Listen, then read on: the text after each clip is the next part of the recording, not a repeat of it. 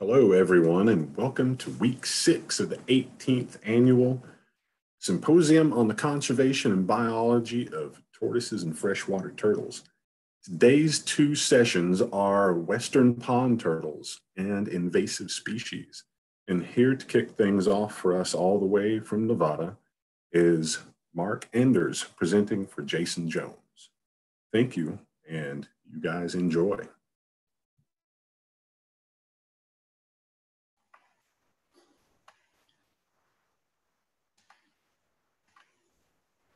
All right, good morning, everybody. So my name is Mark Enders. I'm with Nevada Department of Wildlife.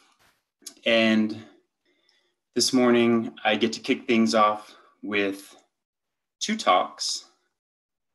Uh, first, I'll be filling in for my colleague, Jason Jones, who couldn't make it today.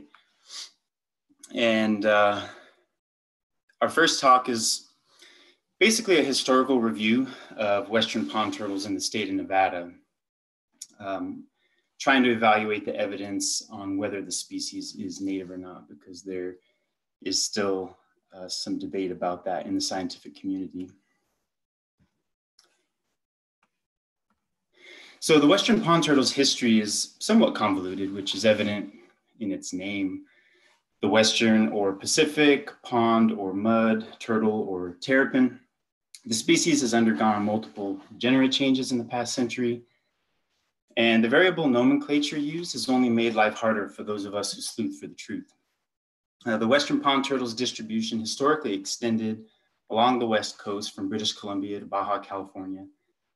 And there are a few disjunct populations, including those in Nevada, where it's largely been noted as an introduced species in some of the literature. So now we're going to embark on the historical review of Nevada's western pond turtles. And we go back to a long time ago when a couple of gentlemen, a Pennsylvanian named Spencer Baird and a Frenchman named Charles Girard, hopped on a boat together and headed towards Washington state. And at the same time, a man from Russia, we'll call him Mr. W this morning, uh, hopped on a boat and floated to California.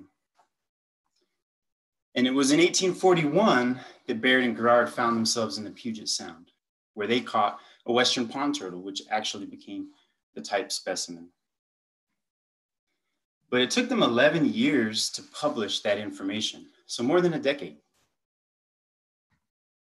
And meanwhile, our Russian ally also caught a Western pond turtle on what is now known as the Russian River.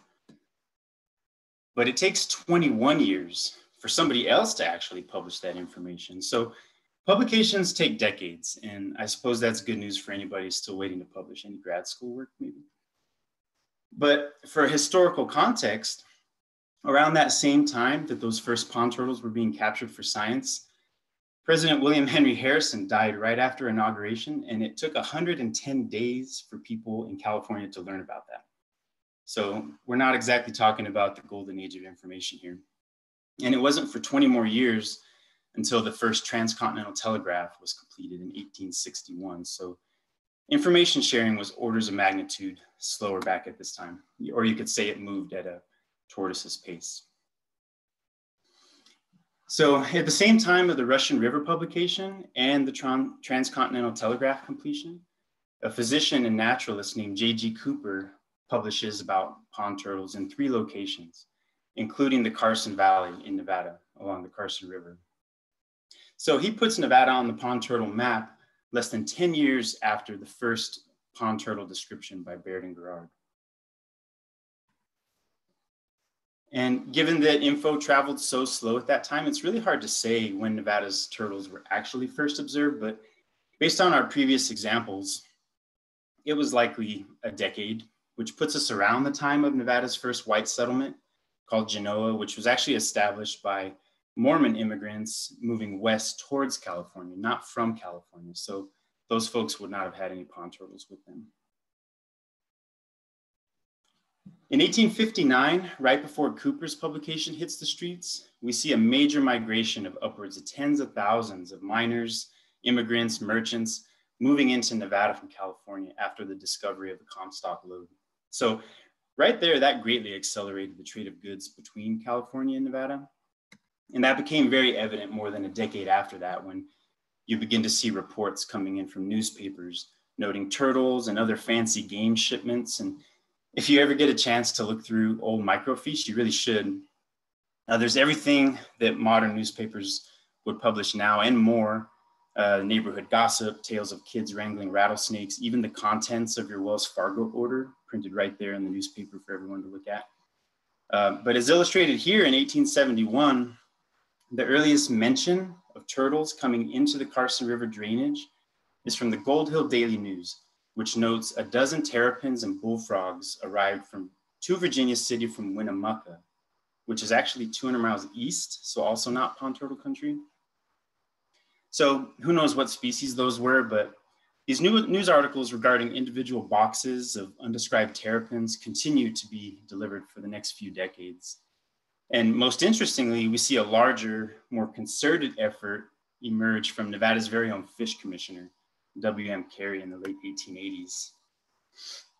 So in 1889, Carey reports that for the past two years, he's basically been Johnny Appleseeding eatable terrapins across the state of Nevada. And during all of our sleuthing, we were only able to account for about a quarter of those turtles that he released. But then LaRivers notes in his 1962 Fish and Fisheries of Nevada book that the species of terrapins that Carey was distributing were of unknown origin and species. And so it could have been another common eatable terrapin like a diamondback or snapping turtle, but really who knows? However, in an 1887 newspaper article, it's reported that 16 of these turtles that Carey released in the Carson River originated from the Sacramento Valley, which is pond turtle country. But then the article goes on to say that these turtles would grow to over 10 pounds, which makes them way, way bigger than any pond turtle ever caught. And I find it comical that two months later, eatable and toothsome terrapins apparently have reached a size of 260 pounds in the Carson River, as reported by both the Elko Free Press and the Eureka Sentinel. And so obviously that's either false or an epic fisherman's tale about an introduced species like the snapper, or maybe it's a legit record of an exotic species like this Chinese uh, softshell that can actually get that big. So although these are likely exaggerations or missightings, I find it intriguing that miscitations persist now with regard to Nevada's western pond turtles, even in recent times with white papers in Washington and Oregon and one of the most cited genetic studies on pond turtles, all misciting Carey's 1889 publication as an 1887 publication. So maybe adding further insult to injury, these publications um, continue to be used as evidence that pond turtles are likely introduced into Nevada. And I think this claim was really furthered by LaRivers in 1942, who clearly speculates that pond turtle introduction occurred in the late 1800s in his reptile and amph amphibian publication of the time. Interestingly, he fails to cite Carey at all, despite his extensive re reviews of the Fish Commissioner's reports for his book, but I think that's enough uh, trash talking of dead people. We'll move on to 1963 when Benjamin Banta finally brings back to light Cooper's century old publication of pond turtles in the Carson Valley. Uh, but he notes pond turtles occurring in the Carson River. Um, there was a short duration of time in which an introduction must have occurred given the Caucasian settlement of Carson Valley at that time. So to sum that up visually in a timeline, there's a relatively short period of time where turtles are first described from three states, Washington, California, and Nevada, all in the mid 1800s. And recall, Genoa is founded by Mormons heading to California, not from California in that time frame. And then turtle trade and introductions begin to appear in newspaper articles toward the latter part of the 1800s. And then 20th century speculation of the species being introduced follows decades later. So the major point, Western pond turtles were noted shortly after Nevada's first settlement in the Carson Valley. And based on the timing of published literature, this appears to be knowledge gleaned before settlement. Additionally, you know, Carson Valley did receive repeated shipments of unknown terrapin species following white settlement, but for now, we're gonna move on to what's happened in the past 50 years. So in 1970, Bruce Bury synthesized and added on to some work that Brattstrom and Sturn published in 1959 regarding fossil records of pond turtles. So these maps are modified from those studies and they illustrate how the Western pond turtle distribution changed through time in Western North America. So during the Eocene, it's been understood that the precursor to the Western pond turtle might have ranged, ranged, maybe ranged, across the Intermountain West. And during the Pliocene, we see two species emerge in the Great Basin, which included an extinct pond turtle and what we consider to be the Western pond turtle. And they concluded that the Western pond turtle contracted its range from what you see here in the Great Basin Desert toward the Pacific Northwest and along the coast of California from the Pliocene to the Pleistocene. And that was due to climatic uh, warming and drying. And then 12 years later, in 1982, Eugene Hattori, who was the curator of archaeology at the Nevada State Museum, was excavating a site on the dry lake bed of Winnemucca Lake, which historically was connected to the Truckee River. And there, Hattori found 27 Western pond turtle shell fragments, representing at least eight individuals. And cave deposits there dated back nearly 4.5 thousand years ago, although they could have been traded as abalone shells were also uncovered but it does mark the earliest record of Western pond turtles in Nevada during the Holocene. Interestingly, a site at Pyramid Lake had a carapace splinter, which Hattori notes is likely pond turtle. And a third site near Fallon had another shell fragment. So that made for three archeological sites in the two river drainages, the Carson and the Truckee rivers, that had pond turtle remains present. And going back to the Winnemucca Lake site, nearly 4,000 years ago, the lake retained water and it was connected to the Truckee River, Pyramid Lake, and ancient Lake Lahontan. So turtles might have had a nice time in that kind of habitat. So adding to our story map, we see turtles occurred in the Great Basin from the Pliocene and remain there into the Holocene, as denoted by those red stars. And now we're gonna roll into the 21st century in genetics.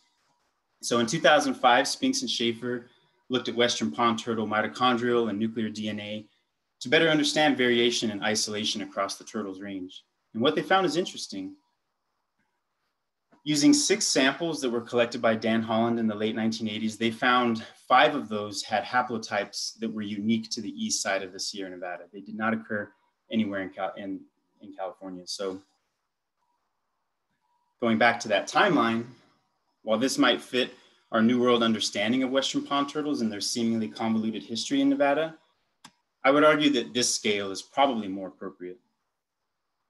As our evidence-based sleuthing suggests, turtles have occurred in Nevada since the Pliocene, through the Pleistocene, and into the current Holocene.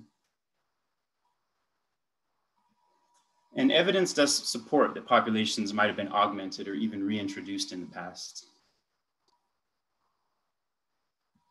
The big question we hope we can answer soon is, are the present populations native or relictual? Are they post-Pleistocene immigrants like Bruce Bury's Northwest Passage hypothesis suggests? Are they potentially reintroduced during the modern Holocene, either tribal or Euro? Or are they a mix of some of those? Hopefully we'll be able to answer those questions with genetic samples that we've been banking over the last several years. But I won't spoil anything yet, so stay tuned for the next talk for more on that. And a huge thank you to all the folks who helped with all the sleuthing and data collection for this uh, literature review. And if there are any questions, I'd be happy to take them now.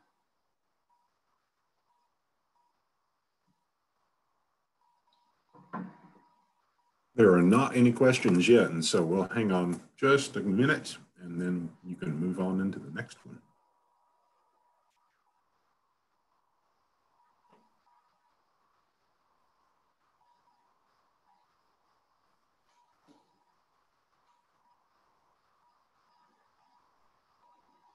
All right, Mark, I think you can move on to your next presentation. All right.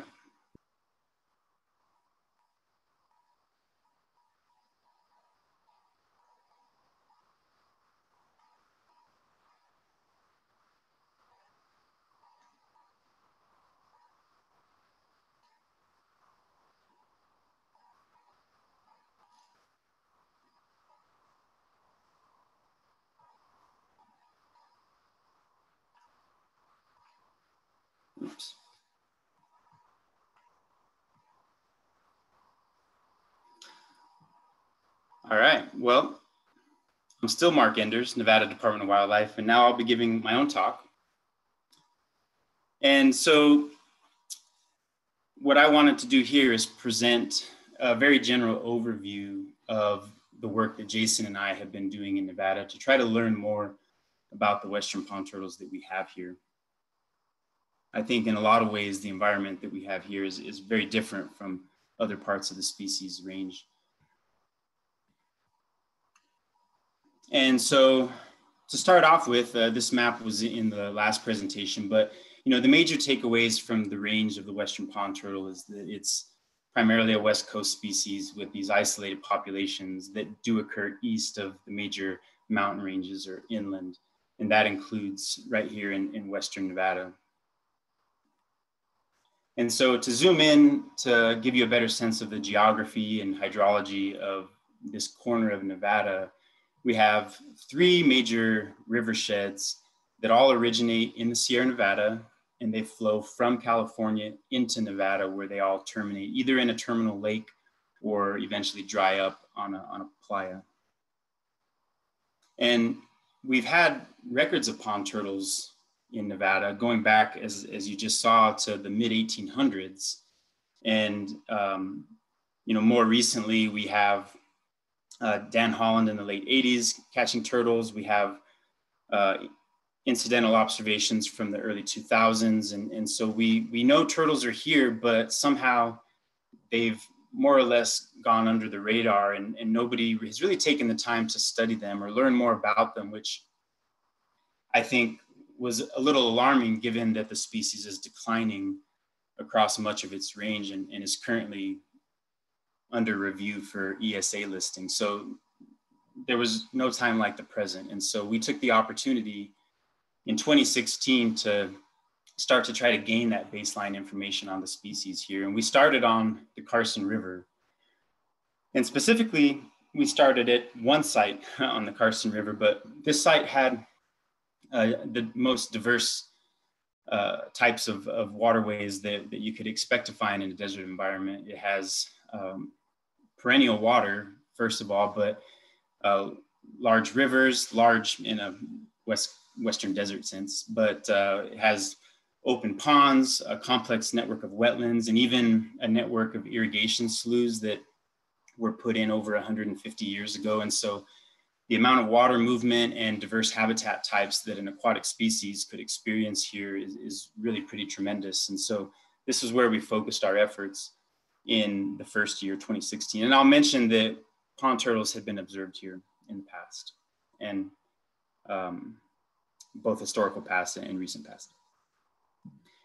And so to jump forward to some really brief uh, results from that effort, not knowing how many individuals we were going to catch there, we ended up being pretty successful in a relatively short amount of time, uh, only about eight or nine days of trapping that first year, we ended up handling 118 unique individuals they were all marked.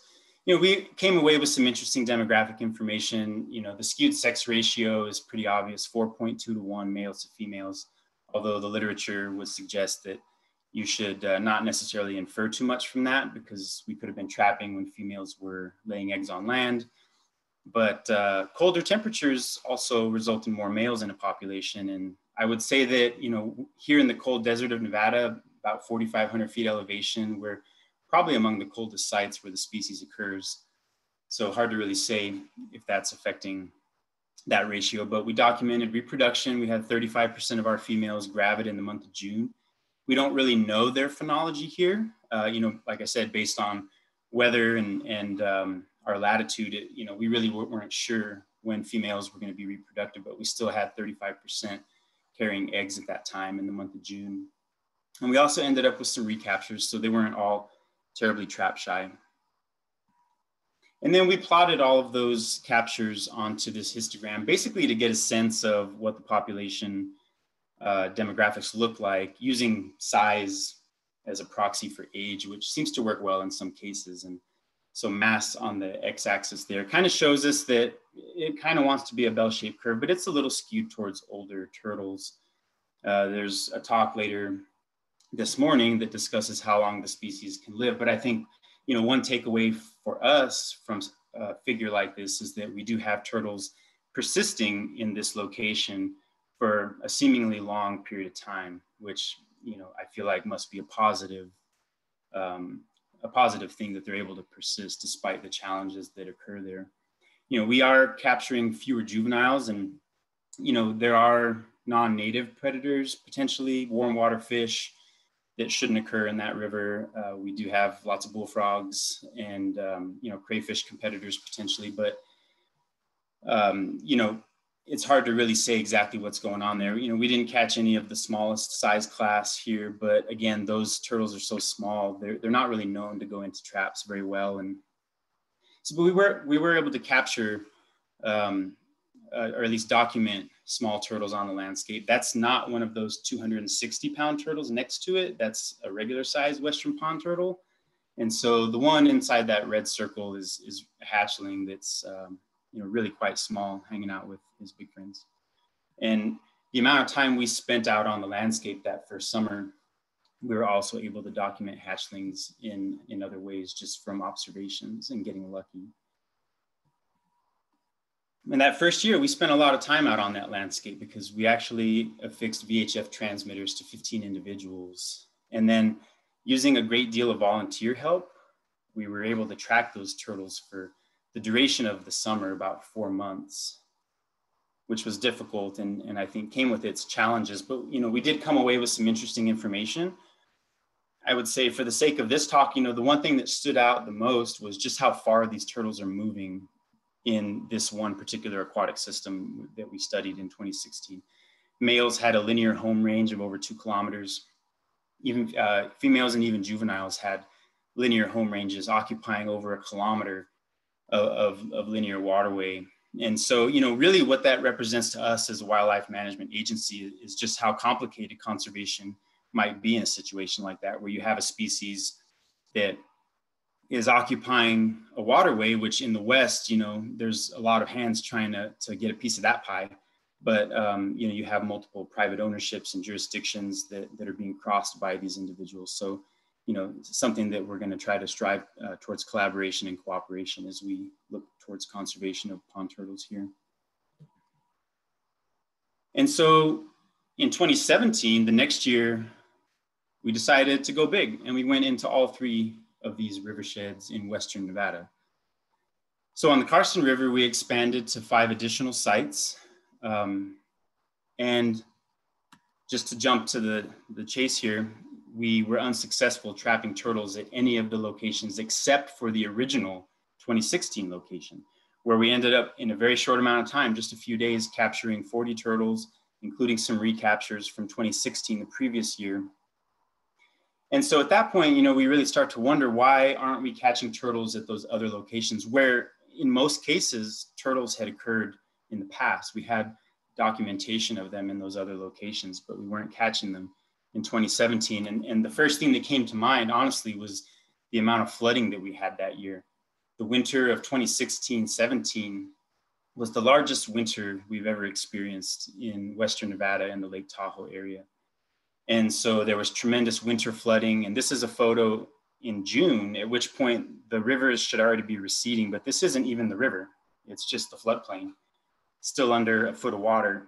and so, you know, one thing that makes me, um, I guess, assume pond turtles are able to occupy an area like this despite catastrophic flooding is that the floodplain is functioning. All that energy can dissipate into the floodplain and the wetlands and so I think that, uh, you know, that's one reason potentially pond turtles were captured here. In other places, maybe the floodplain wasn't functioning well enough for them to withstand that catastrophic flooding. Or rewind the clock back to September of 2014, and here's a photo of, of the Carson River bone dry.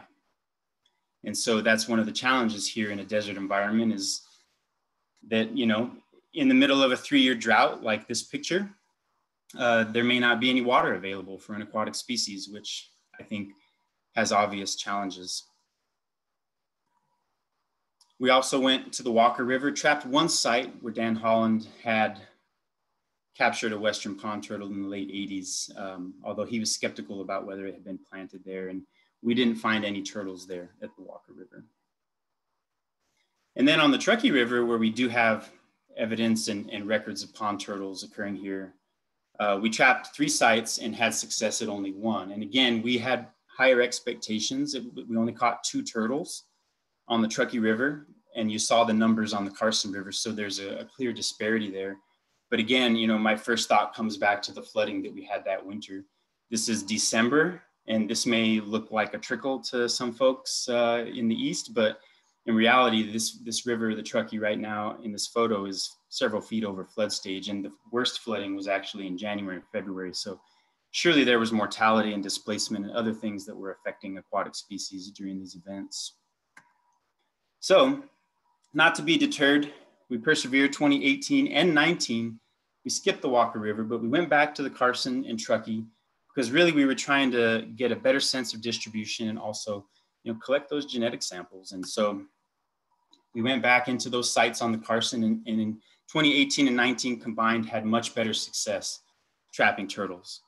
And we ended up catching pond turtles in places where Dan Holland caught them 30 plus years ago. And we still have turtles persisting and and thriving. You know, we had uh, juveniles on the landscape, very large sized turtles, males, females. It seemed to be you know a very functioning population just uh, from our capture data.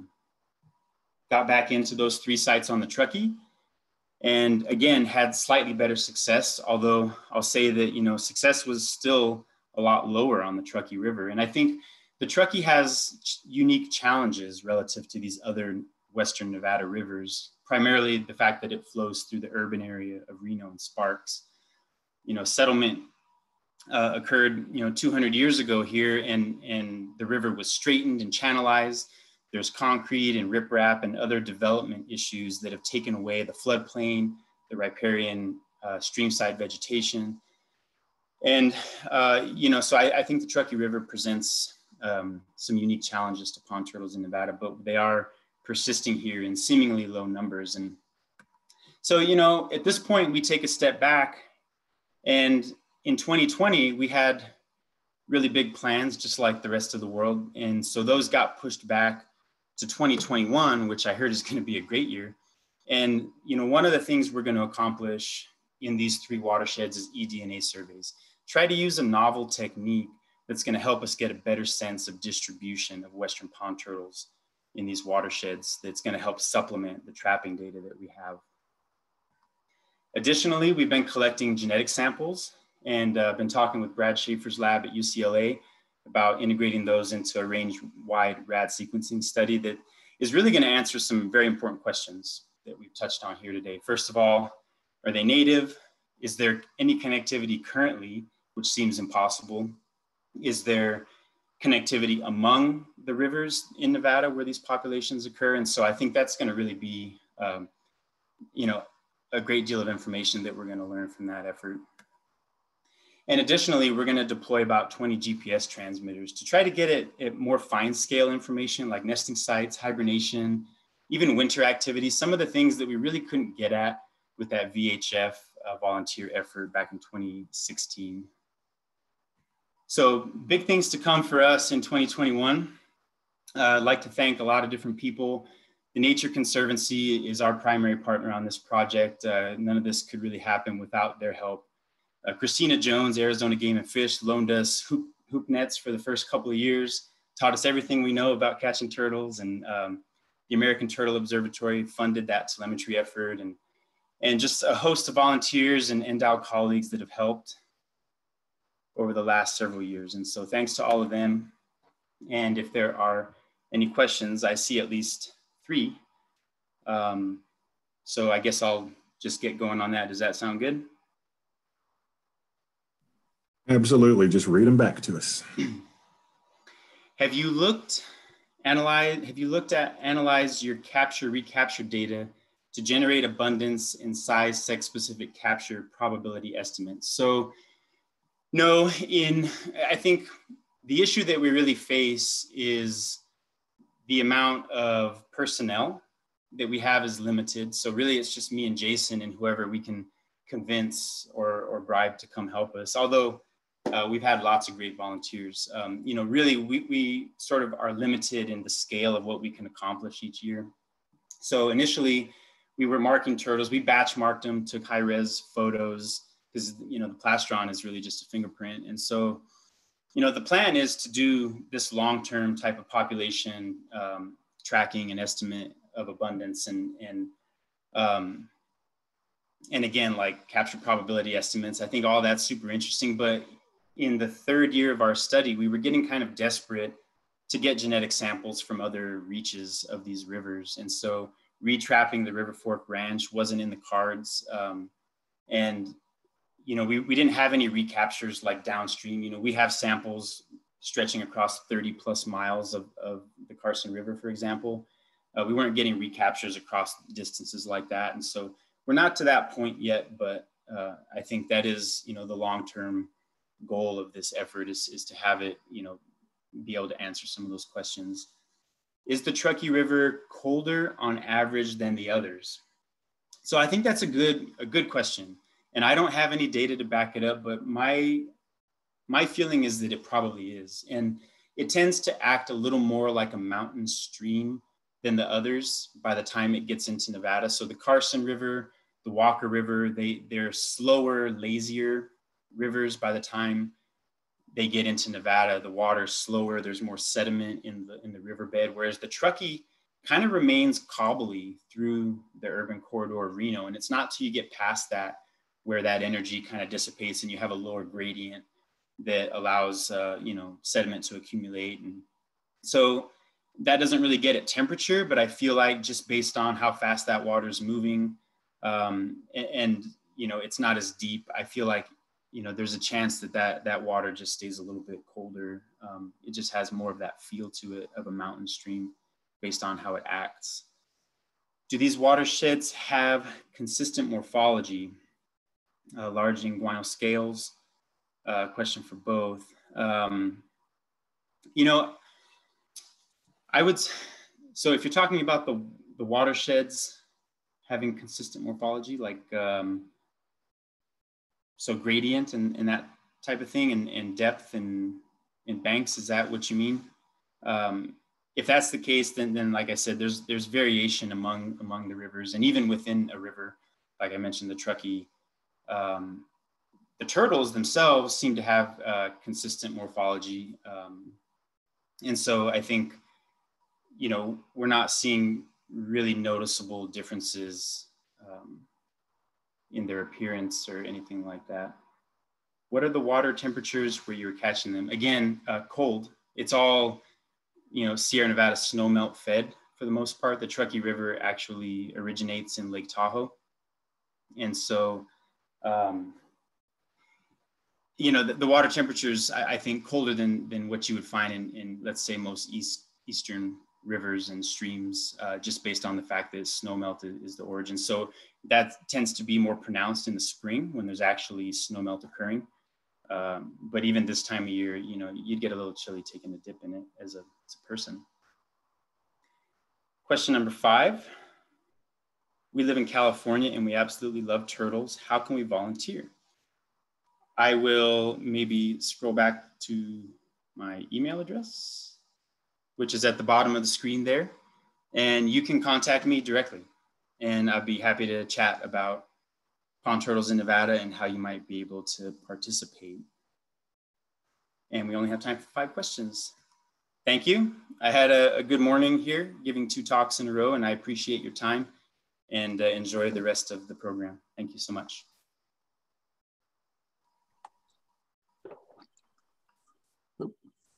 Just wait, Just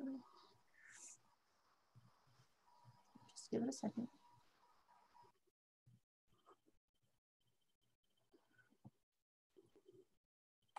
Just wait a second.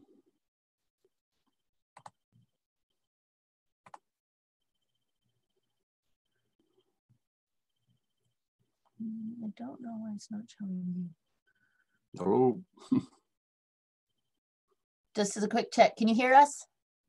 Absolutely. Okay. All right. So. I can't see anybody. Second here. Well, You don't have to see me. They can see you, you just can't see them. So, I just need the So- questions. one second. Well, well, if you can hear me, I'll kind of start off here. I enjoyed those talks on Nevada up there on the high plateau.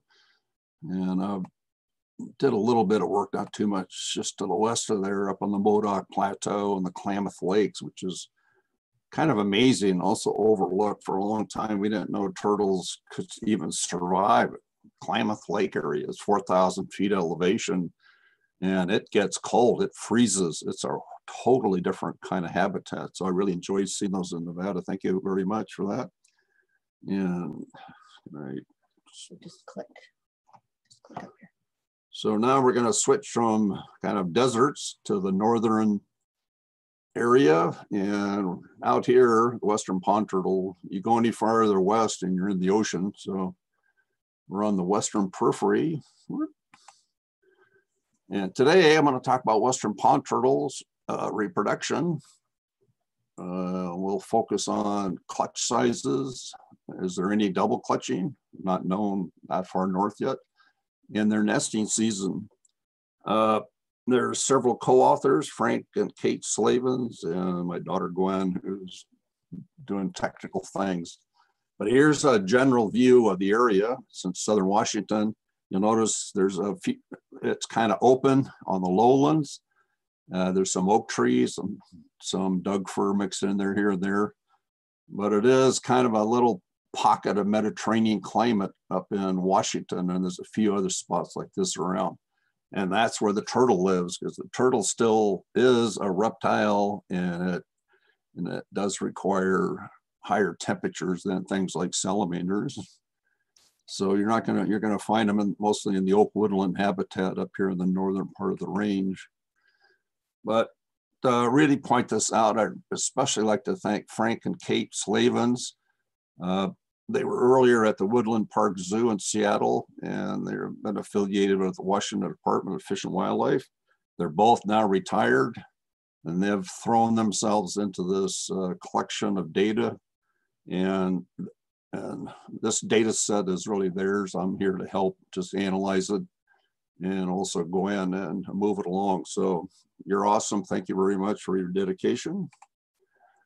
Uh, the western pond turtle, there is some doubt if it's up in BC, there's a separate topic, but it basically has this linear range, which is actually quite long. It's over a thousand miles north to south. Uh, in parts of the range, like Southern Oregon and parts of Northern California, to me, they're still doing relatively well. But the northern part and the southern areas, the turtles appear to be declining. Another reason to study them, as today points out, uh, turtles are charismatic. Uh, they're also very high concern to state and federal agencies, a lot of conservation groups, and the public loves them, so we won't turn that down. As I mentioned, some populations are declining, but not all of them. And they are protected in all states of Mexico, at least you do need permits. And it was earlier proposed in 1991 and it was not listed, but it is now back up again for listing. So earlier, uh, as mentioned, Dan Holland did a report. This is not published, but he did this major phone book size report, like 200 pages for the Bonneville Power Administration. And in there for the Northwest, he reported that the majority of females probably oviposit in alternate years, that is every other year. In Oregon, he also pointed out the average clutch size was about seven. In range-wise, the clutch size is positively correlated with, with carapace length. That is, if you have a large, real large female, she'll have more eggs than a small one. So there is minimal information on reproduction in turtles up in this area. Uh, as far as I know, published information, we have zero data on uh, clutch size in Washington and minimal in Oregon. So objectives for this study, you know, what is the mean clutch size and does it vary?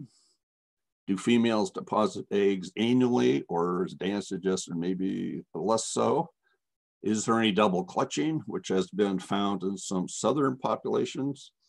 When is the peak nesting and what are the implications for conservation and management?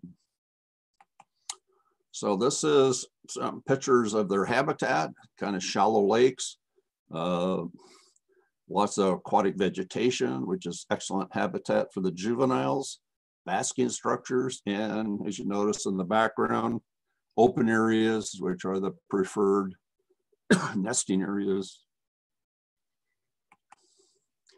Now, this study was an intensive tracking using radio transmitters. So in the evening, the turtle, the females come out, move out and uplands to nest. So they followed individuals. And this was done over 15 years, or uh, an incredible amount of work. And they found if you were use some stealth and watched it, they found they could follow the turtles without disturbing them, which in itself is uh, also miraculous. But they did track them. The females were fine if you stayed back a bit. so up there in the left side, uh, there's the turtles are brown and they live in brown dirt, brown on brown. So they're, they're kind of hard to see, but they are turtles and they're fairly large, but they only come out for a little while to nest. But once on the right, the the turtles once the once they make the nest, they do cover it up, and the nests are for us anyhow very hard to find. So you do need to, in this case, new radio telemetry.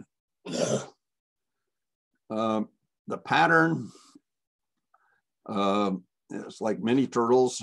The peak is in June, but also we found out that there's a secondary peak like uh, in early July.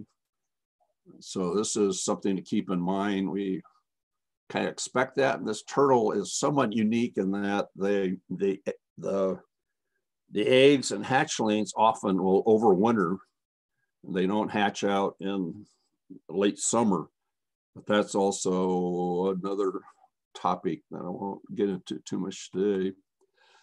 so the number of nests, which is just incredible, the Slavens' work, uh, I said we've gone from zero in our knowledge base, and they they have found 245 nests. There's a mean of about 6.2, but most of the females had from four to eight eggs per clutch. Now, just quickly to compare that down in California, and all of the work in California is by Dave Germano and co-authors. Uh, the mean clutch size down on, on the coast in California is like 5.5, Washington 6.2, and then the interior in the Central Valley, uh, Germano found clutch mean clutch is seven, and then down in Fresno it's about 8.5, and Dave and others have found double clutching in about 5% of the population. And miraculously, he found a couple that had uh, three clutches per year down there in California. So Washington, this is the first time we have uh, we have had uh, double clutching recorded. It's rare, but it does occur. And this has, uh, well, here's some other implications for it. There were only 11 individuals that double clutched but the number of eggs total for those individuals was 93 in the first clutch, 72 in the second.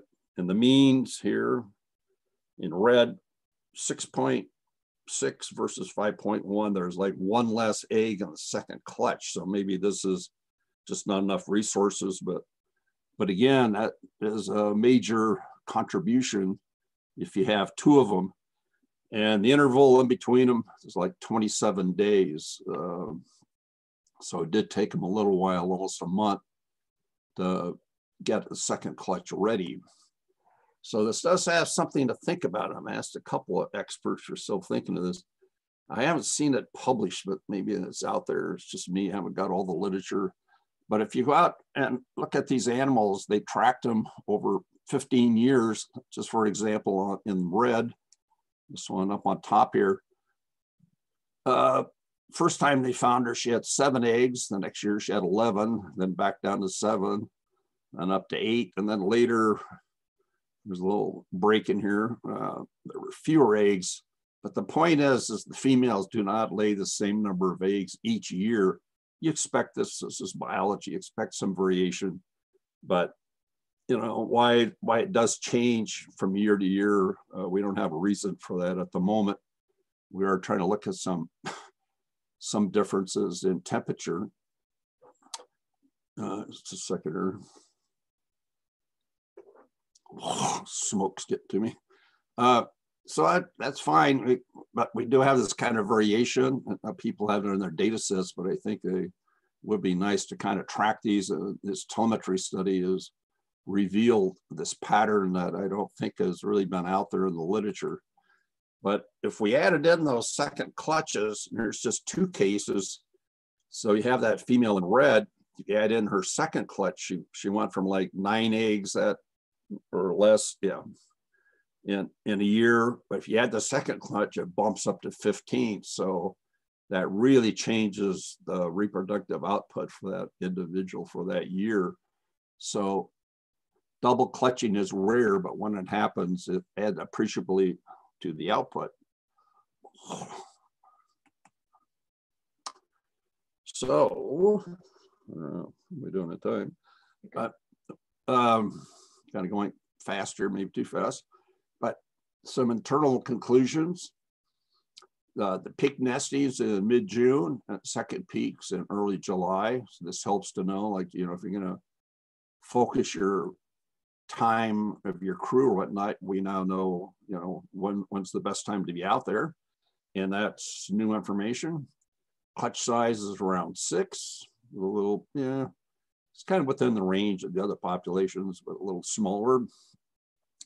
There's annual egg deposition in the females that were tracked. Um, that's kind of, that's new.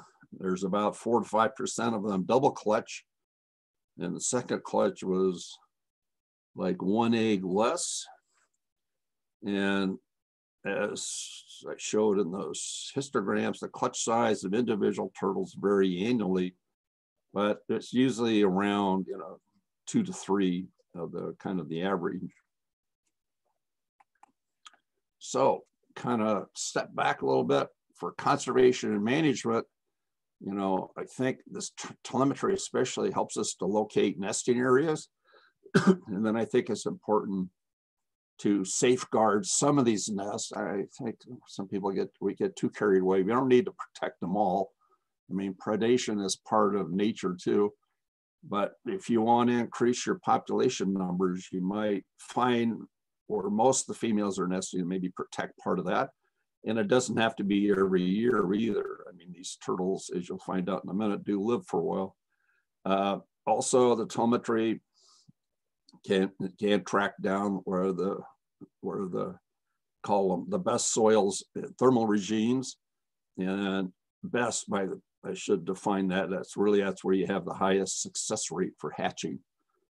Uh, and also for turtles, we have to think on a scale few of us can imagine, but they uh, are around quite a while and we need to protect those females for long periods of time. So jumping around here, I'd like to thank, there's a lot of volunteers and field helpers. I won't name them all here, but very generous contributions here from the Woodland Park Zoo and the Washington Department of Fish and Wildlife and lots of other help around. And I may have talked too fast, which is unknown for me, but I wonder if there's any questions. Got one question there in the chat. Yeah. So one question, how certain is the second nesting period? It looked like the histogram only bumped up by one clutch in early July. Is that just sampling variation? Well, no, this there is that secondary bump also in the Oregon populations. I didn't show everything here, but the there, but it's not very many, but there does seem to be uh, the turtles with with you know a, a secondary period of nesting. And And next question, have gravid females been x-rayed to see oviduct involvement? Hmm. Uh, Can't answer that one. I'd have to ask the Slavens about that, but we, we x-ray turtles in Oregon. In this situation, which is kind of unique, they, they track the nest. And when they find a nest, they, they, they wait for the female to finish and then they flag it and they put mesh over it. And then later, those nests are dug up and those, many of those go into head starting programs and other things. So they keep track of them. Here in Oregon, we, we don't radio track them. We x-ray the females to get clutch size, but I didn't talk about that today. And. Oop, That's all the questions so far. We have one more on the way. Okay.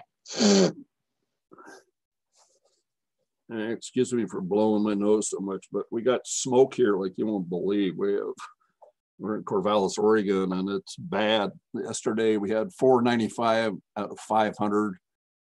For, and the hazard starts at three hundred, so we're, you know, we're smoked in and, Our air's a little chewy today. and we have ash coming down, actually falling out from the forest fires, and me, I got allergies, so sorry about the hacking here. Any more questions? What's coming in? Did they find that they nest every other year on average? No, the records actually indicated the females track nested every year. And there were enough records in a row where they look like they nest. I mean, some individuals, they don't catch them every year. I mean, you get a couple of turtles moving out there in the woods, they're hard to track. But no, they, they appear to nest every year. Uh, you know, there might be an exception here or there, but pretty much annual annual reproduction. Is that it, or that was the last longer? Thank you, Bruce. Oh, good. That's fine by me. I've got to go blow my nose. So we have another famous speaker coming up. So if that's okay with you, I'm gonna change things up. Thanks. Ugh. They can still hear you. Okay, hello. Give me one second to switch over talks.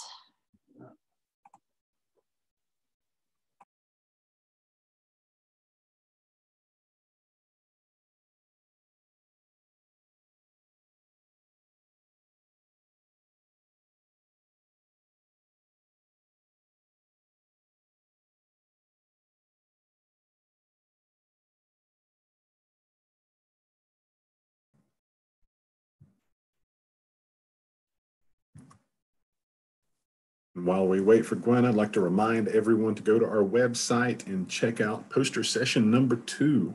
It Went up last week and there's a lot of great stuff in there. Thank you, everyone. I watch it from here. Not right now. Not right now. Um, so, hello everyone. I'm just uh, switching over to our other talk for today. So, uh, thank you very much to Bruce, who's now sitting next to me, um, for the talk on reproduction. Um, I'm sure none of you, of course, would ever insult a turtle, but there are certainly people who have um, doubts about some things, and I'm here to talk about one of the things, or not. We're having a minor technical difficulty. Give me one moment, please. We had this issue earlier, and uh, I was convinced we had solved it, but uh, as you know, um, life is always exciting.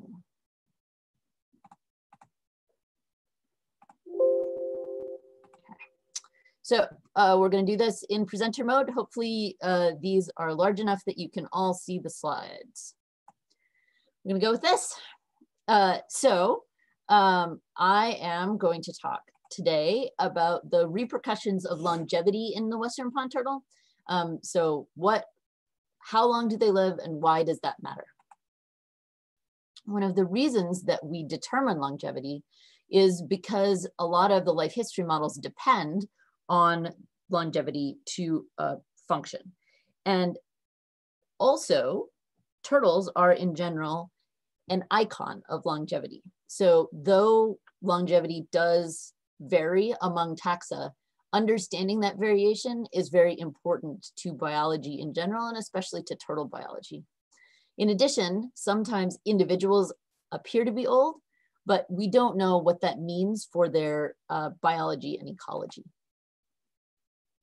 So for us, for this particular study, our objection, our objectives woo, were to see what the longevity of Western pond turtles in the wild was, what the rate of decrease in recapture over time was, uh, were those old, large turtles still reproducing, and what ramifications for this do we have then in management for the species?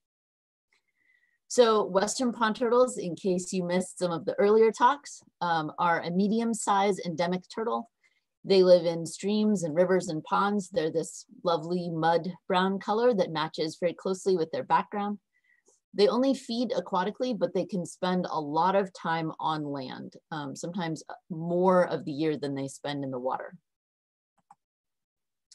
As far as their range, uh, they live on the west coast of the United States, Washington, Oregon, and California. And this is a very Mediterranean climate with hot, dry summers. We often have no precipitation in the summer at all, and then very cool and wet winters. So we are still, hopefully, continuing this long-term study of Western pond turtles that began in 1968. And this was a very intensive study for the first several years, and then since then, we've gone back more intermittently. So we revisited the site approximately every 10 years, sometimes more frequently than that, and sometimes less frequently than that. And our site is in Northern California, and it is a stream system, not a pond system. I realize they're a pond turtle, but they live in both.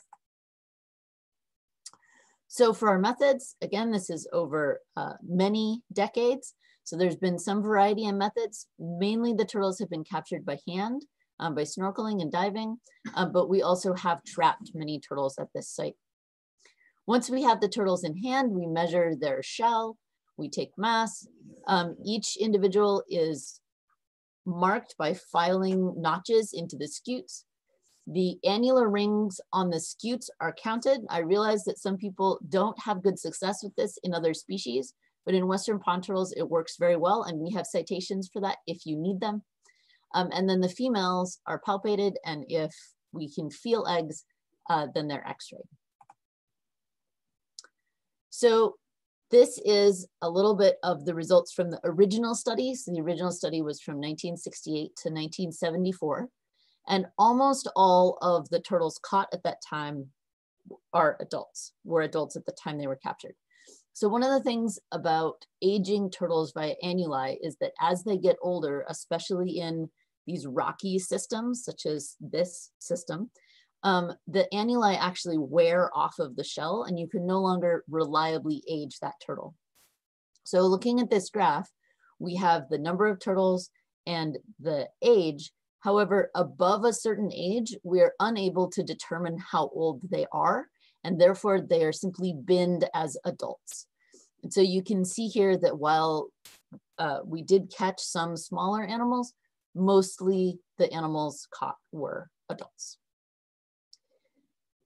At the 2008 revisit, uh, we managed to recapture adult female marked code number 83. So this was 40 years between the initial capture and this capture. And because this individual was estimated to be 20 years old when marked. This is a turtle that is at least 60 years old. Uh, this turtle was found in the exact same pool where they were initially captured, and this is not a particularly large pool, and was in excellent condition with no appearance of aging. When we revisited in 2018, we managed to recapture adult female code number 50 so this animal was marked when they were five years old and so was recaptured uh, 50 years later for a total age of 55 years. And again, this animal was in superb health. Here you can see Bruce holding uh, number 50 here and a first year hatchling uh, for comparison. Now, not all of the turtles that we're catching here are very old turtles. There's certainly a smaller amount of the population as the years go on. So of our 174 recaptures that we've had in the revisits from 2008 to 2018, um, of those, only 10 of them are, are very old turtles. However, some of those, right, we showed you the one that's uh, 50. Uh, we have a whole bunch that are in the 40s as well. They are not a huge part of the population, um, but turtles that it has been uh, more than 20 years since we initially captured and marked the animal are about 5% of the population that we're currently, or in the past few years, recapturing. Um, and so this is a decline over time. So of the percent of the turtles that we cap that we recapture, the years since first marking declines. Um, but notice, right, that we're out here in the 50 year range. And so that's still uh, pretty exciting that we're capturing this many really old turtles. Just recapturing old turtles weren't all of our goals. So uh, we also were looking to see whether these old turtles were still reproducing. And this is uh, that adult female code number 50. So we know how old this turtle is, 55 years old at this uh, data point, and she had nine eggs. So Bruce talked about how larger Western pond turtles uh, are able to have more eggs per clutch. And so this means that these adult females are producing eggs over decades. And we estimate based on the average number of eggs that this means that this single individual could have produced more than 300 eggs over her lifetime. So our evidence suggests, right, that some Western pond turtles are living a very long time, 50 plus years, 60 plus years. Most adult turtles are likely reproductive for many decades. Um, though of course, these are the ones that have avoided major mortality events such as roadkill and predators. These old adults add appreciably to this population's viability and that this has major ramifications for future and current management of this species. We have a few more uh, important quotes for you. High longevity also helps turtles compensate for their highly variable annual reproductive success, which depends largely on environmental conditions. Nests are often destroyed and hatchlings can have high mortality rates. Extended longevity allows turtles to produce successive clutches for a long lifetime. There are, of course, still many questions um, how many, we don't know how many of the original 850 turtles that were marked in the initial study are still alive. And we also don't know whether they're still in the study area. Uh, we primarily have studied just the original reach and we don't know how many of the turtles have moved out of that reach. So our estimations of how many alive are also tangled up with how many are present in the area. There are also questions about whether this large population will be able to persist, persist in the future. And I'll talk more about that in a moment. Um, our study has been on hold for two years because this site is on private land and the landowner has opted not to give us access to it. Speaking of the site, this was a fairly remote ranch uh, at the beginning of this study but it is currently in the center of a boom in legal cannabis farming. This is not the actual site, this is just upstream of there, but you can see around it the many different uh, cannabis farms.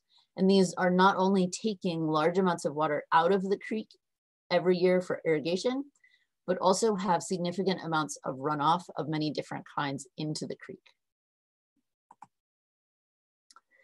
Now, Waterways are disjunct and rare in this habitat. We're gonna have to do something slightly exciting here.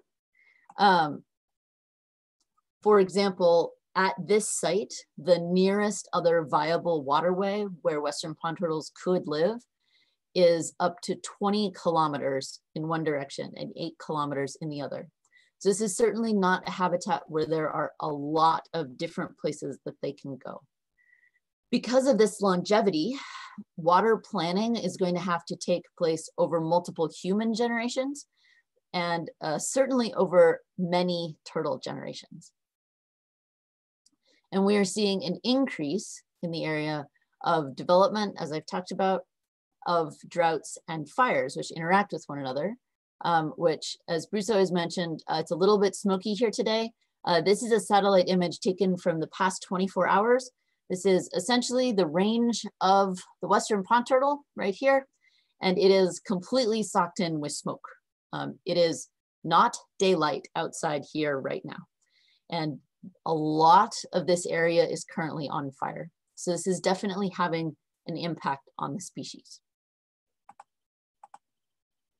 Of course, we need to thank all of the people who have made uh, decades of work possible. A lot of them have been volunteers or taking time off of their day jobs. Um, they work for many different agencies and universities and have been out on their weekends helping us catch turtles. I also, of course, need to thank my all-star team of co-authors, uh, my father, Bruce Bury, Don Ashton, who you'll hear from in a little while, Jamie Bettaso, Dave Germano, um, and uh, Thomas, Don's son, for putting up with us boring adults in the field for most of his lifetime. We are, of course, very uh, serious about turtle conservation and safety. And with that, I will take any questions that you might have. I like that our turtle is wearing a mask. Uh,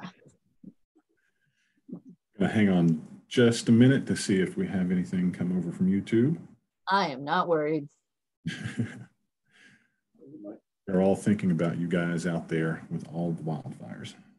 It is, it is dramatic. I have lived in and next to a lot of fire in my lifetime. And I will say that this is some of the worst smoke I have ever experienced.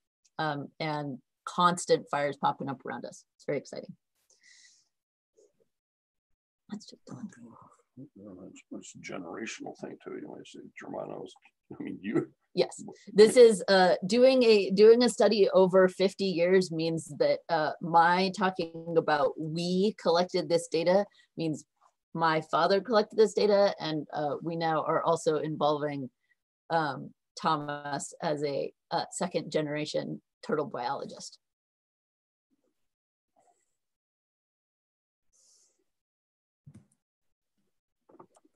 Here comes a question. Can you see it? Or do you need me to read it? Wildfire impact turtles directly, such as burns, or impact indirectly, such as water quality changes, etc. Um, all of the above. Uh, it's not a super well studied thing. It also really depends on the time of year that things burn. So, um, for example, like winter controlled burns are going to have a very different effect than a peak of summer burn. Um, it depends on how uh, at what phase the, the turtles are, if they are estivating like down in the mud in the bottom of a big pond, the fire might burn over the top and they might see no impact at all. Um, uh, that is a, a extremely variable thing. Uh, fire, of course, has tons of impacts at an ecological level and may have direct impacts if you get a catastrophic fire that goes through especially a small site or goes through at a time of year when the turtles are very active, especially if they're um, up in the forest. But honestly, we don't really know the direct impact. Um, I don't know of any studies directly on that. Um, if anyone would knows of a funding source for that, we have all sorts of sites. But um, do we expect to regain access to the site? Hmm. Maybe. We are hopeful. Um, we have continued to be in negotiations over the past two years, uh, but we have not yet reached a, a successful conclusion with the site owner as to regaining access. Um, do you know the longest Western pond turtle life record for captive pets? No, Short answer, no. Um, this isn't a species that is kept a lot in the pet industry, which we're very happy about. Um, I, and I mean, they're very long. Most, many turtles are very long lived. Western pond turtles are certainly long lived. I don't know of a captive record. Don't know. We don't keep them Yeah, we don't keep them. Um, and anymore. even if uh, we had, that would be over my lifetime. So, all right, I will send it on to the next person. Have a good day, everybody. That's it. for Okay, um, just give me a moment here and I'll switch over to my slides.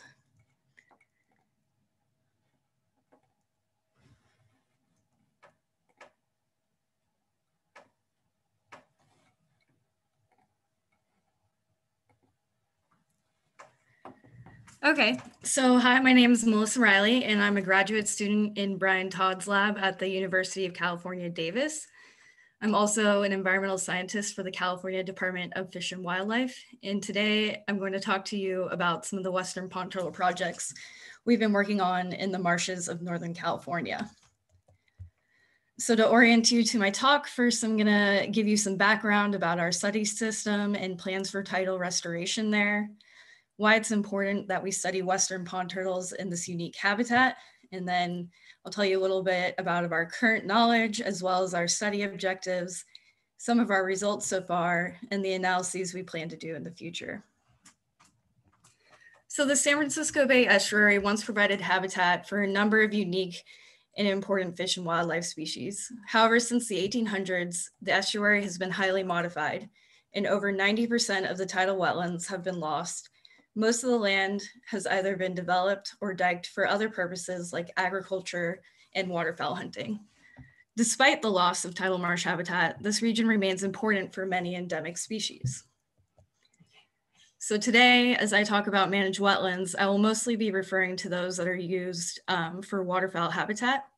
Managed wetlands within the estuary are considered an important stopover for waterfowl on the Pacific Flyway.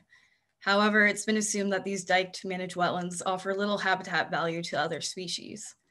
Through recent studies, we've shown that diked managed wetlands provide important habitat, not just for waterfowl, but for a plethora of other species.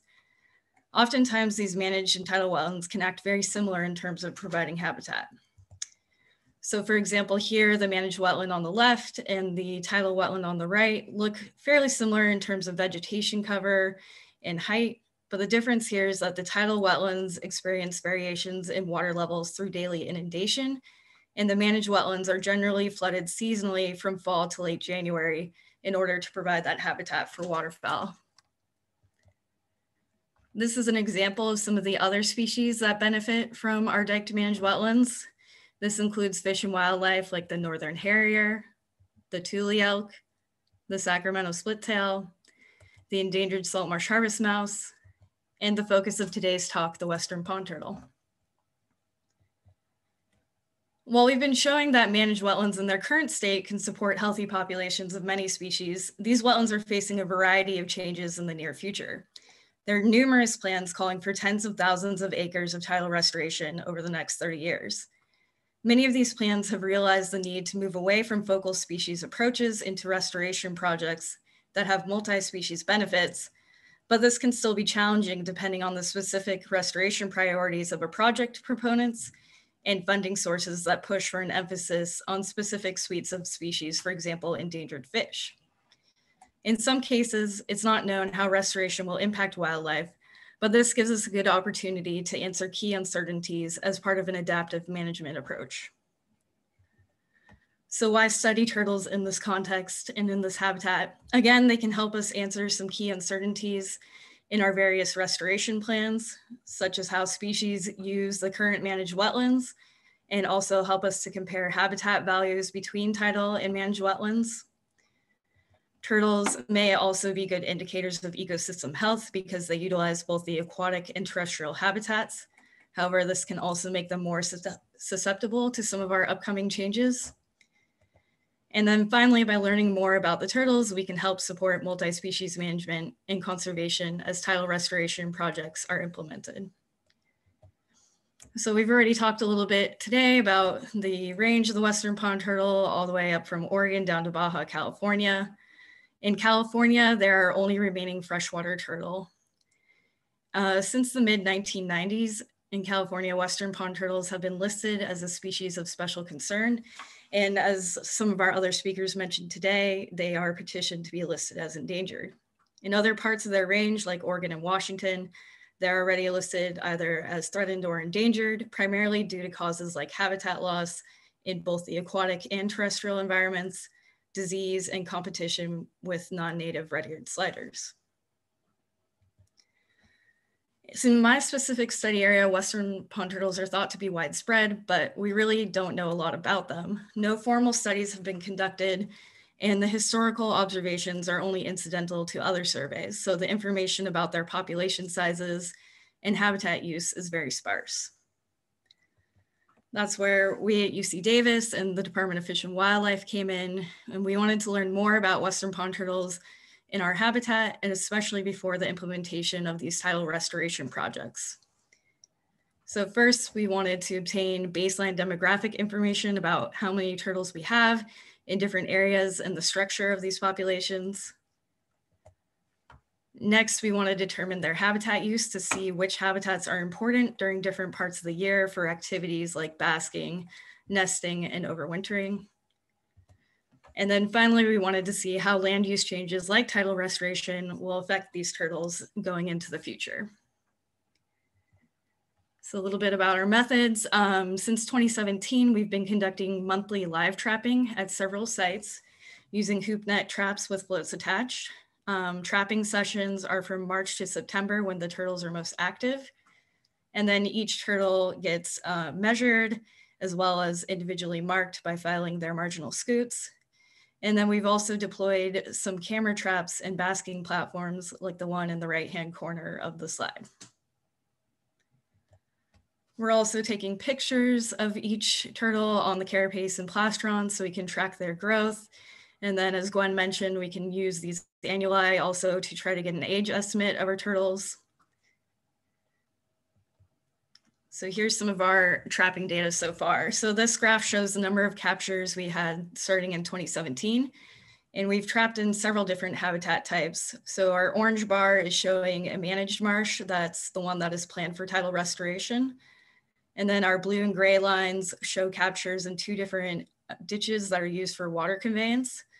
And then um, our last habitat type that we've trapped in is a stock pond, and this was only trapped in 2019. So far, we've marked over 400 individual turtles in our study area. So this is a still photo from one of our camera traps that's used to monitor um, the basking platforms.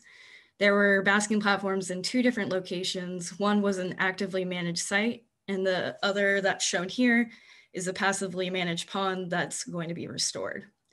So the cameras took a photo every hour, and then we could go back and count the number of individuals basking to determine their activity during the day and also across seasons. So this is a time lapse of one of the platforms. So you see they start out early in the morning and kind of peaks during midday and then tapers off into the evening before sunset. Um, this is some of that basking platform data synthesized. So it shows the two sites in red, we have our passively managed site where um, they were more active starting in April and May. And then both sites sort of peaked in June and tapered off into the fall as our turtles went to search for overwintering sites. So next we'll talk about uh, what we've been doing to look at habitat use and trying to determine the effects of uh, tidal restoration.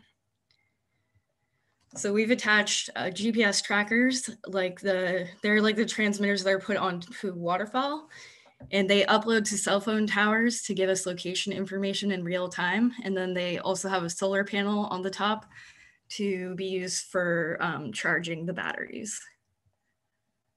So here's one of our turtles going back into the water with his transmitter. We've deployed over 20 transmitters. We have nine females and eight males at our managed marsh that's planned for tidal restoration. And then we have three males and three females at a control site. So there he goes, made it in there. So the main area where we're focus, focusing our tracking efforts is slated for tidal restoration within the next year. When the levees are breached, 650 acres of managed ponds will be returned to full tidal action.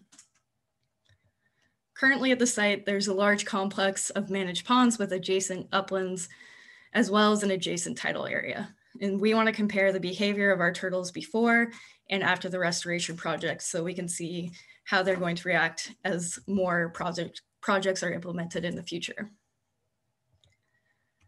So one of our first male turtles was trapped in uh, from 2019. He spent May and June in the northern part of one of the ponds. And then July and August, he moved further south in the pond, about one kilometer away from his starting point. And then in late August, he actually moved into a tidal channel and went into a fully tidal area and stayed there through winter and into early spring. Um, probably found an overwintering site that was uh, dominated by saltgrass. So to give you an idea of what this habitat looks like, um, this is one of our managed ditches and water can be controlled by the water managers, but it's usually in this area slow moving and circulating throughout much of the year. And there are some vegetated banks where we often see turtles basking. This is an example of one of the tidal sloughs. Again, we have these vegetated banks, but um, in this habitat, there's also exposed mud banks that become available to turtles during lower tides. So here we can see a couple of turtles hanging out in this tidal slough. So we have another male who did something a little bit different. He was tagged in March of 2018. Unfortunately, we only have a few months of data on him. Uh, but for spring, most of spring, he remained in our managed pond complex. And then in May, he took a trip into an urban creek. So this is an example of what the urban creek looked like. Um, so he was right up there close to the development in the area.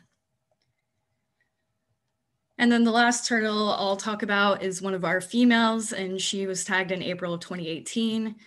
Uh, for most of the year, she remained in the managed ponds, but during May and June, she went north of the pond and into an upland area likely to nest. So this is what it looks like in those upland fields, and then also an example of one of our predated nests. So in summary, we are really finding turtles everywhere in our study system. They're using a variety of different habitats.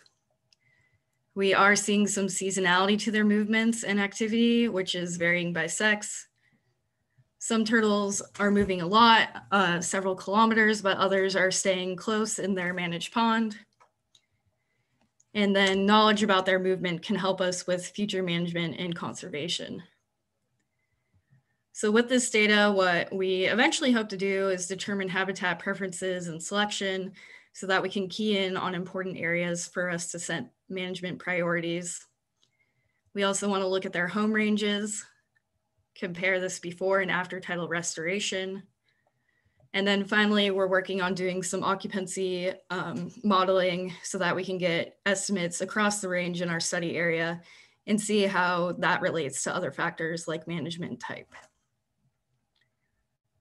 So with that, I would like to thank everyone, especially at the Todd Lab at UC Davis, also the Department of Water Resources for funding support, and then my colleagues at the Department of Fish and Wildlife who helped me a lot out in the field. And now if we have any, I'll take questions. Also, if you're not watching in live time, feel free to email me. My email address is right here on the slide. And now I will attempt to pull this chat up. If you can't, I can just relay the questions to you verbally. Okay, it was working earlier, but I don't see it working now. So no worries. If we have any. How reliable are the GPS transmitters and are there any extended gaps of data uploads? So yeah, that is one issue that we are dealing with. I have a few turtles where the transmitters only lasted for a couple of months, but then I have maybe one or two turtles where they've lasted into the next year. We actually had a problem where the antennas were getting chopped off. So just them going through the veg or climbing on top of each other, it was uh, taking the antennas off, unfortunately. And then another problem too is reliability of the cell phone service. So if they're not getting a good signal, then you might get gaps in your data. Another one from Gwen. Do the turtles switch to aquatic basking in the summer, like moving into warm shallows or on top of algal mats, if those are present? Yeah, I have actually seen them recently during some of our occupancy visual surveys using those algal mats a lot. Um, but then when those aren't available, they'll either be on the banks um, or if we have a basking platform out, they really tend to like those as well. Very good. We're going to hang on for just another minute here to see if we have any more questions come over from YouTube, but was great stuff. Um, what do these turtles eat? So we haven't done any diet studies yet, but it's assumed that they eat a lot of crayfish. Actually, some of our turtles in a different experiment, they um, when they defecated, there were a lot of crayfish in their scat. And then uh, they also probably are eating algae and maybe small fish in the area. Aquatic invertebrates too. What transmitters were you using and would you recommend? So the transmitters, the company we were working with was Ecotone. And um, I think that they would be better if we could get a model that didn't have the external antenna, if we could figure out how to make it work without that, because that was really just the one big downside to the transmitters that we currently have. All right, question four are they feeding in these saltwater areas? And how are they dealing with the excess salt? Yeah, so that is something we have actually investigated. We did a salinity experiment on the turtles from our area, and it seems that they are actually adapted to live in higher salinities um, through regulating their blood osmolality. But uh, one of the things that they did end up doing in the lab was when salinity got to a certain point, they would stop eating. So it's maybe not a long-term strategy that they have. So potentially if salinities get too high, they're gonna have to eventually move into a less saline area. All right. Do the transmitters on female carapaces interfere with mating? Not that we've seen yet, so we try to place them far enough forward so that it doesn't uh, interfere with that. All right, last one. What is the weirdest place that GPS was recorded? Um, I don't know how too into the details I should get, but one of our turtles did actually take a trip to the city uh, fortunately, we got it back and we were able to take it back to the pond. Great stuff. Thank you. We appreciate it. And next up is going to be Don Ashton. Very good. Probably um, here we go. I will share a screen here.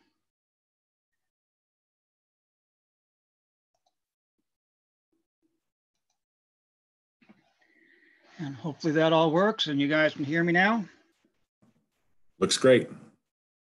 Well, very good. Um, like I said, my name is Don Ashton. I'm here to talk to, uh, we basically provide a comparison of northwestern pond turtle populations from dammed and free-flowing fork on a uh, Pacific Northwest River. And you see I've got some co-authors listed here, James Bettaso and uh, Dr. Hart Welsh really more of research collaborators. I didn't get them a whole lot of opportunity or any opportunity to really uh, uh, comment on this talk. But uh, listed below that are our affiliations and some sponsors. And with that, I will move forward. I think I will move forward. Huh. Okay, there we go. Educated biologist um, also participated in this study over the year. In fact, I even noticed uh, that Eric Meyer, uh, Eric Russell, I mean, is uh, on the chat there. So welcome, Eric. Uh, without all these people, the data that I'm going to be presenting here would not have been possible. Look like my screen share disappeared. Oh, we still see it. Oh, okay. Well, very good. Uh, so anyway, the so that the, the two forks, one of the river forks was dammed in the 1960s, while the other remains free flowing. The free flowing fork generally uh, warms up through the summer, where on the dammed fork, we have a hypolimnetic release with cold water coming from the bottom of the reservoir. And uh, mean water temperature in July is about six point, I mean, 8.6 degrees colder on the dammed fork. So um, we do believe that's biologically significant. Slides aren't advancing that well here. Oh, there we go. Now we're advancing too well. Uh, besides uh, changes in thermal regime, we also have uh, some changes in channel morphology. Uh, with the reduction of floods uh, downstream of the dam, we get riparian encroachment, builds up berms along the, the edge of the river and and again, we, uh, we lose that shallow edge water in exchange for a deep channel that downcuts. And on those lower pictures, you can see that illustrated on the, the left in 1961 or prior to the dam, um, that river is able to meander, but a dozen years after damming, uh, those banks are lined with vegetation and the river no longer meanders. Just a brief uh, history of flow management to give some context on the dammed fork. In the 1960s and 70s, only about 10% of the water was retained within this watershed. The rest was pumped out of the basin uh, uh for agricultural purposes. But due to declining anadromous fisheries in the 1980s, that allocation of water was increased to about 25% and uh, further increased in the 2000s to 49% of the water being retained in the watershed. So today I'm going to talk about data that we collected in the 1990s and the mid 2000s. So we've got that uh, increase in, in water uh, spanning the study periods. And um, it's important to point out that some of the turtles in this study are likely older than the dam itself. I'm going to synthesize the results of several studies. And like I mentioned, we've got two forks, the dammed and free flowing. We've got the two study periods I mentioned. So 1991 to 1994, and then 2005 to 2007. And uh, we're also going to look at three different turtle groups. Uh, we'll look at males, females, and juveniles separately. And on this slide, um, I'm introducing the color coding that I'll use throughout the rest of the talk. So you can see the, the blue for the uh, colder dammed fork, green for the uh, warmer uh, free-flowing fork. Know, you'll, you'll see that in the graphs here. So first thing we looked at is adult body size, because we noticed that uh, turtles of any given age seem to be smaller on the dammed fork relative to the free fork, the free flowing fork. And if you look at this uh, slide here, you'll see uh, there is a little bit of a change across the decades. And what we see on the dammed fork is a declining trend in body size, uh, which we do not see on the main fork. In fact, even a slight increase for the males but this uh, becomes much more evident if we look at the juveniles. And for here on juveniles, we're really uh, going by age, not size. So we're looking at animals that are two to eight years old. And what we see with our green lines on the free flowing fork, um, very little difference across the decades. Whereas we look at the dammed fork, uh, we see they have slower growth rate in the 1990s and that uh, is exacerbated in the 2000s with even a slower growth rate. And that's what's really leading to our smaller adult body size. To take a little bit closer look at this and see if uh, water temperature might be causing this, we added some temperature data loggers and transmitters to about a, to, uh, 10 to 12 turtles on each fork And uh, we did that for three years in a row in the 2000s. This is an example of just one hydro or one uh, thermograph coming off of one uh, adult male. And this is actually looking at the whole year. Uh, we can zoom in on any part of that and look at details of a day or any length of time. But the main thing to point out here is lots of basking activity through the summer and into the autumn. Then the turtle is overwintering um, upland in the duff layer, probably even under a little bit of a snowpack here. Got a nice day in February, animal comes out to bask and then basking activity resumes uh, the following spring. We also had uh, environmental data loggers that we could compare those temperatures to, to, to decide if they were on land, in the water, or you know upland, um, near the riverbank, those kinds of things. But if we take all that data and sum it up, we see that the proportion of time spent basking uh, on the dammed fork is significantly greater than what we see on the free flowing fork. And even with all that extra time or additional time basking on the dammed fork, those animals still don't quite reach the same overall existence temperature that we see on the free flowing fork. In fact, they're about five degrees Celsius cooler overall. But how does this really play out on the turtles? We were noticing that particularly females on the dammed fork seemed really pudgy early on in the season, even as early as June. And uh, you'll notice here on this animal, uh, bulges of fat coming out of the inguinal cavities. Uh, this animal can't even retract into its shell uh, in June. Um, we see the same kind of pattern on some of the younger animals even in the main fork, but we're just gonna look at uh, adults of known sex for this particular analysis, where we'll use a uh, volumetric body condition index um, and compare this between the, the river forks. So what we find is for male turtles, um, we see, uh, well, straight across for all of them, we see on the dammed fork in the blue bars, uh, higher volumetric body condition. So these animals, for some reason, are putting on more weight uh, relative to their counterparts on the free-flowing fork. But the other interesting trend to look at, you know, we have uh, increase from July to August in the males for both forks. But when we look over at the females, we see an increasing trend on the free-flowing fork, but on the dammed fork, the, the females start out heavy in July and they just stay heavy. Um, we're attributing this to uh, possibly that the females on the dammed fork are really, um, uh, they're allocating resources to lipid storage at the expense of growth and possibly reproduction, or maybe they're, uh, you know, it's taking them a couple of years. Maybe these animals are only reproducing once every couple of years, and this is what we're seeing in that, that signature there. Not totally sure. But from there, uh, we did an, uh, another small experiment where we, uh, we had been extracting blood samples and tissue samples for genetic work as well. But we, on a subset of these animals, we did blood draws at 10 minutes, 20 minutes, and 30 minutes after capture.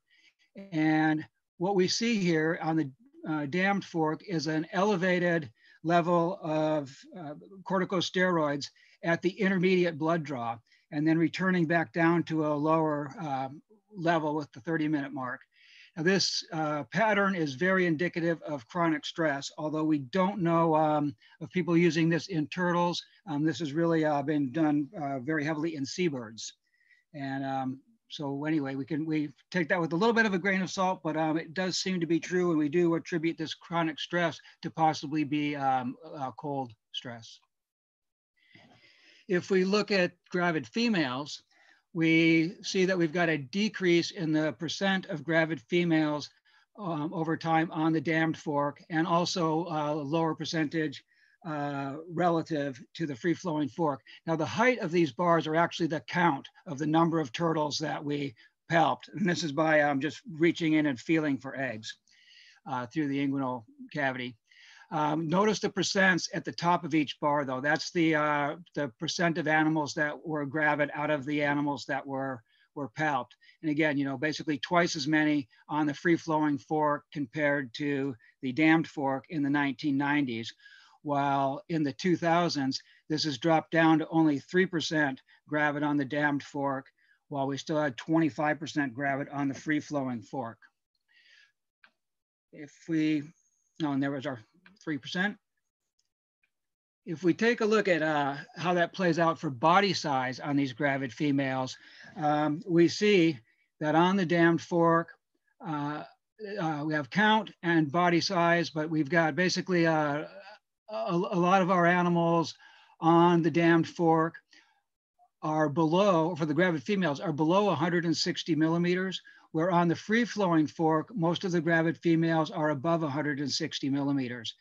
And so going back to some of those earlier talks, it's probable that the those larger animals are possibly producing larger or greater larger clutches, maybe even larger eggs. We don't know. Um, but a big thing to think about is that palpation, by it can be really difficult on the smaller turtles. So we started wondering, well, are we missing some of the turtles that could be gravid out here at the smaller end, or um, is it just is it just that they really are having a lower proportion of uh, of gravid turtles. So we did x-ray a, a, subset of turtles as well. We went back in 2009 to do this. And uh, we looked at 45 individuals, uh, a total of 52 x-rays. We did a, a multiple x-rays on a few individuals. And unfortunately, what we found is we had eggs only in the, the larger females. Uh, we had x-rayed uh, uh, females as small as 88 millimeters carapace length and as large as 182 millimeters. So I, that in part accounts for a lot of our low numbers is we really were probably x-raying turtles that were too small to even be carrying eggs, but that was really the point of this experiment to, uh, to see if any of those smaller animals that we were not able to, uh, to successfully palp um, if they were actually carrying eggs. And we did all these x-rays um, on the riverside. We didn't really take these turtles into the captivity. We just used a portable x-ray machine uh, running off a generator in the back of my car. One other facet of information that we looked at is the spatial dynamics. And we're not really looking at movement per se, but more at uh, site fidelity. We're using um, location from recaptured turtles during our snorkeled surveys. And um, so, you know, we don't really know where the turtles went. We just know where we found them. And we keep looking in the same spot over and over again.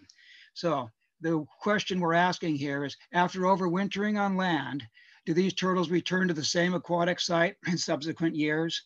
And um, for site fidelity, we're going to call that, uh, for this analysis anyway, as being recaptured in a subsequent year uh, within 500 meters of the previous capture site.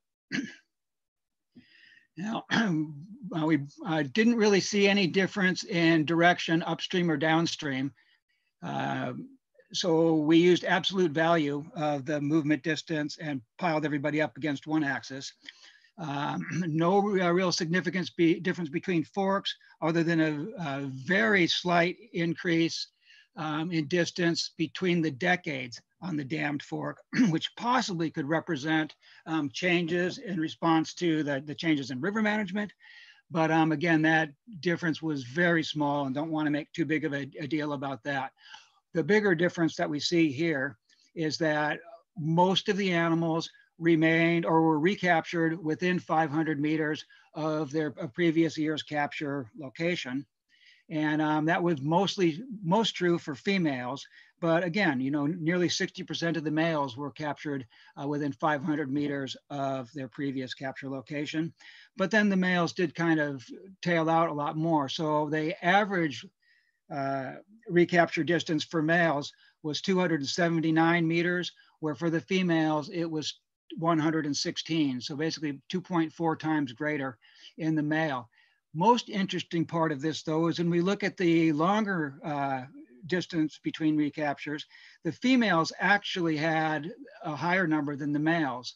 And we can take a look at it a little bit differently here.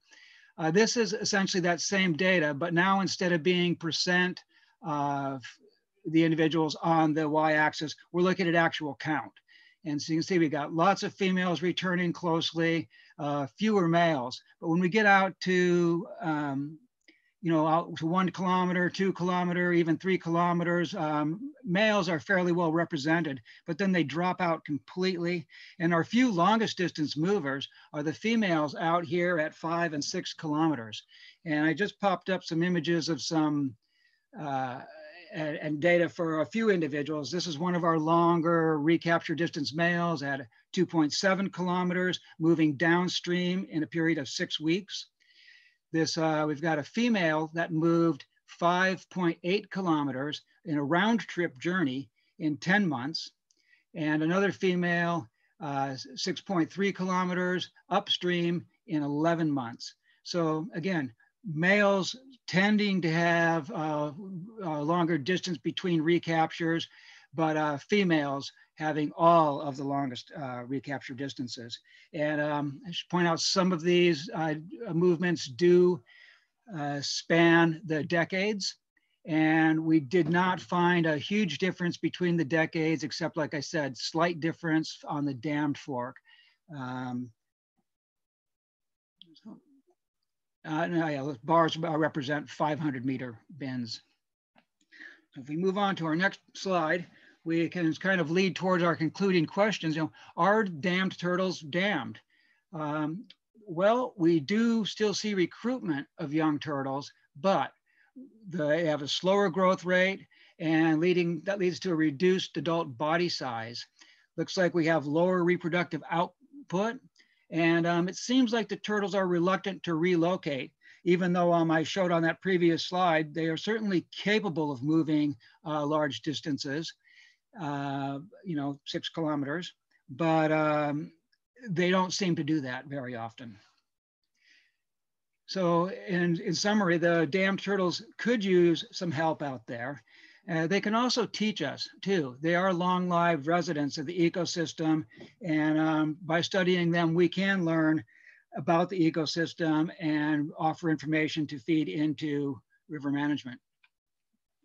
And the basic problem here that we have at our study site, uh, the dammed fork is now managed as a cold water fishery, fisheries, uh, where it's also the, the home for these warm water species. Um, and essentially when the, the, dam was put in, uh, it blocked hundreds of miles of salmonid habitat upstream. And fisheries managers are trying to uh, place that habitat now downstream where the turtles want to live. So the solution to this is really to provide habitat heterogeneity. Um, there is a lot of restoration going on. Uh, and if we can design sites that provide warm edgewaters and backwaters while still uh, retaining cold water in the channel, um, then I think we can provide uh, better habitat for these turtles without compromising fishery objectives. Um, another way to help maintain that over the long run is to be sure to provide annual variation in flow so that uh, we don't build up those armored uh, uh, vegetation banks that build up the berms and separate the, the floodplain from the channel. And all of that will just will help uh, restore ecosystem function, which ultimately uh, benefits the anadromous fishes as well as all other native species in the drainage. So with that, I do want to thank folks for, for listening. Um, I know there's a lot of questions about turtles, and I'm glad I'm following a, a few other uh, authors who had uh, provided some background information so I didn't have to go into to basics on turtles. But anyway, I can answer some questions if my house isn't on fire yet. Um, with that, I'm looking at my chat.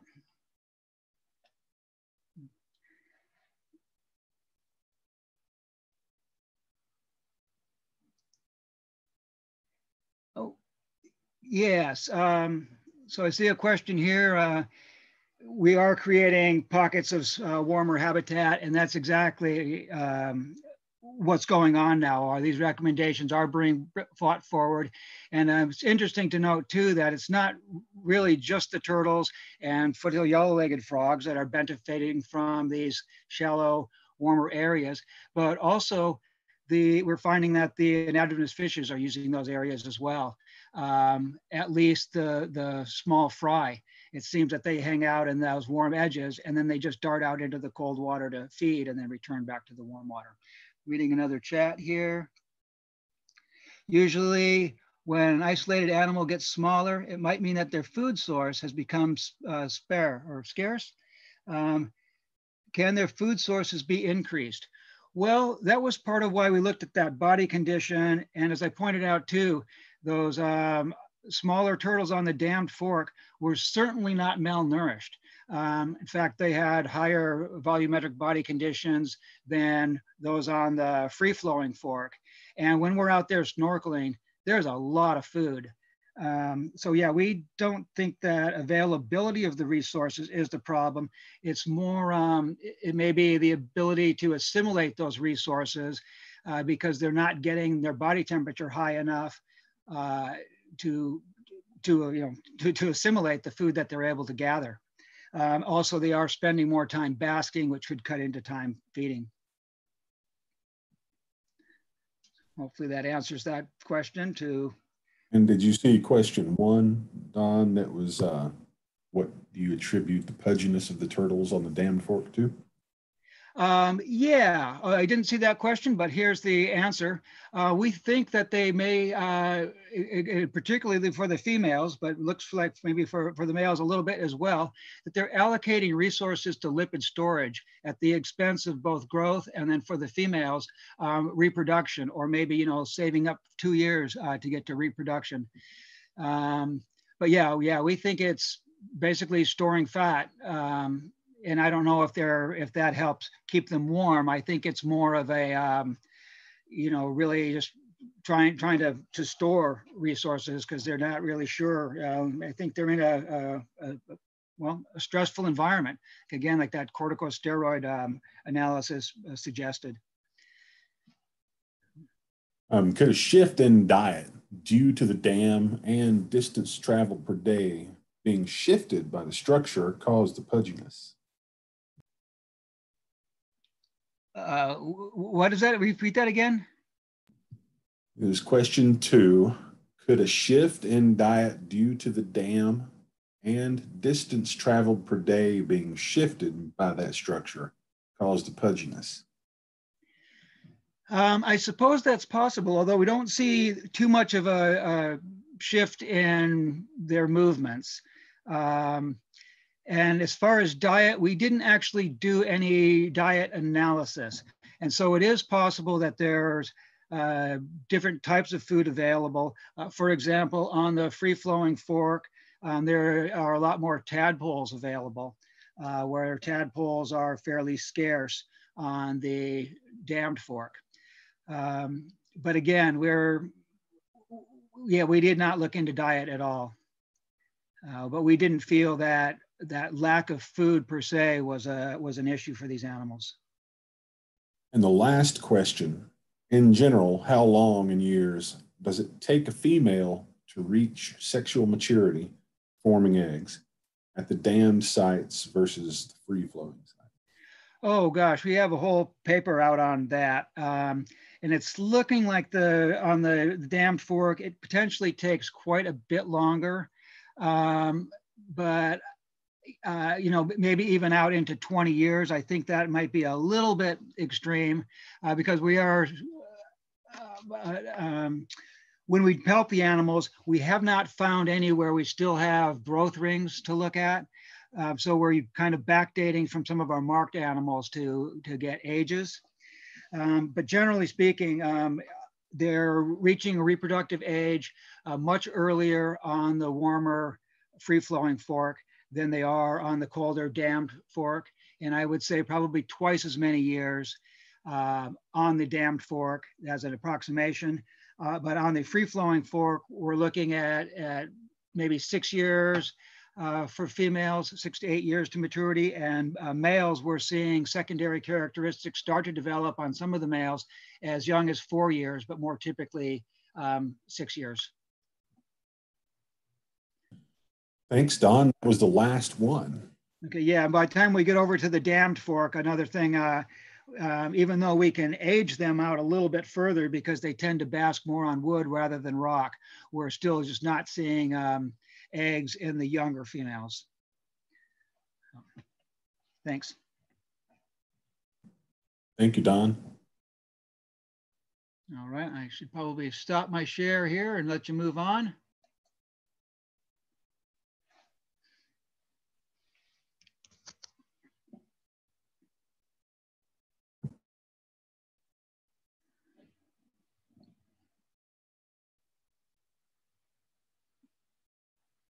All right, is that working for you guys? Do you have it back now? Absolutely, thank you.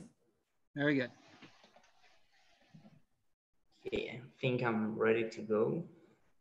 I'll share my screen.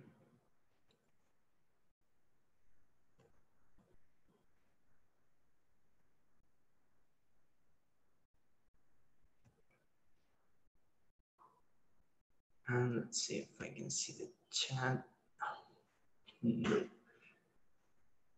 Okay, so hi everyone. I am Raúl Araya Donoso. I'm a graduate student at Arizona State University in the Evolutionary Biology PhD program. And well, I work with Dr. Sukeno Kusumi and Greer Dolby. And I want to talk to you today about this project we have in collaboration with the Arizona Game and Fish Department. And we are gonna change topic. We are going to move now to invasive species and how they affect turtles. And in this case, I want to talk to you about the factors that determine the invasions of crayfish and bullfrogs in the um, turtle populations here in Arizona. So I would like to begin talking about our study species, the Sonora mud turtle, Kinosternum sonoriensis sonoriense. And this is one of the most widely distributed turtles here in Arizona. So here you can see like in this red area is their distribution. And it's also like the Kinosternon species that lives in a more arid environment. And this species uh, faces many different threats because Uh, it still have a small geographic range and it faces drought and the effects of climate change. It's also affected by predation by invasive species and it faces habitat degradation. But this species is not categorized as endangered still. However, the sister subspecies of Kinosternum sonoriensis sonoriense, uh, Kinosternon sonoriense longifemorale, is categorized as endangered. So in this picture, you can see it has this blue distribution that corresponds to the Sonoyta mud turtle, Kinosternon sonoriense longifemorale. So our main concern is that we don't want the Sonora mud turtle to be as endangered as the Sonoyta mud turtle because like not managing a vulnerable species will increase the likelihood that this species will be in a higher risk category in the future. So we need to take actions to manage that. Okay, so I told you that one of the threats that the Sonora turtle faces are invasive species. So the main invasives, you know, the main freshwater invasive species here in Arizona are these two crayfish species and these bullfrogs. And these species are bad for us and they have effects on the turtles populations because they can predate upon hatchlings of turtles and can also be reservoirs from some diseases such as ranavirus. And just to give you some context, these animations show the spread of this invasive species through time. And you can see that, that they are both widely spread in Arizona. Here you can see the bullfrogs, here the crayfishes. So in present dates, they are widely spread throughout the state. So we need to take actions to manage these populations and to preserve our turtles. So the main idea of this study is that it's relevant for us to understand these interactions and the ecological characteristics that can affect the invasion. Therefore, we can develop a scientific-based management in order to improve the health of the turtles populations. So our main objective with this study was to determine the environmental variables that are associated with the abundance of these invasive species in the populations of mud turtle. So for example, these are some of the ponds that these mud turtles are living in. So in order to do this, we use available data, available occurrence records since 1975 for the three main taxa we are studying. And we use several databases, public databases. And our final data set had um, around 6,000 occurrence data. And as you can see here, we have the distribution of the mud turtles. This is the density of mud turtle occurrences and also the occurrences of the invasive species that are very, um, they tend to occur in similar environments. Also, we gather environmental variables that could explain how are associated the abundance of the invasive species and the turtles, such as altitude, the distance to the main river trunk, distance to nearest road, which could be a measure of anthropogenic disturbance, and also the stream persistence. That means if the stream is intermittent or permanent throughout the year. So we measured the um, abundance of crayfish and bullfrogs in each one of these turtle populations. Uh, so our study unit was the turtle population. And we assessed the effects of these environmental variables on the abundance of the invasives using a GLM with a log link function. So um, the first results I want to show you is descriptive, like we are not analyzing the relationship between variables, we are only seeing where are occurring the different taxa we are studying. So the main thing is that all the three taxa use a similar habitat regarding the distance to the nearest road, the distance to the main river, and the altitude. But uh, we found an interesting differences in the um, stream persistence, where the crayfishes tend to occur more in perennial um, streams compared to the other species that are more present in intermittent species, uh, streams. So um, then when we analyze the relationship of these environmental variables with the abundance of the invasives in the turtle populations, we found first regarding the stream persistence as similar to what we found before, that crayfish tend to occur more in perennial streams and bullfrogs tend to occur more in intermittent streams. So this makes sense since crayfish are more dependent of water, so they are more associated with these permanent streams. And also bullfrogs uh, present um, higher dispersal ability and can also survive in terrestrial habitats. So these results make sense to us. Then when we assess the distance to the main river, we found that both species tend to be more abundant near to the main river. And this was also described for different invasive species that their spread is facilitated uh, by downstream flow, like the water flow in the rivers facilitate their occurrence like in the main trunks. And well, it has also been described that higher water flow will facilitate the spread of bullfrogs. So these results also make sense to us, like having more invasives near to the main river.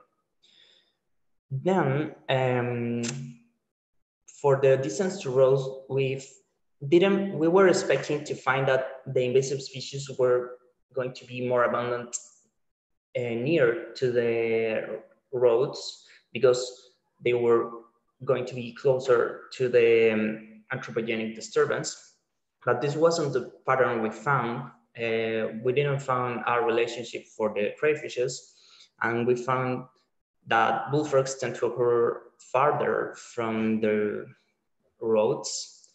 So in this case, we, we cannot think that there is a direct association to the, um, these variables.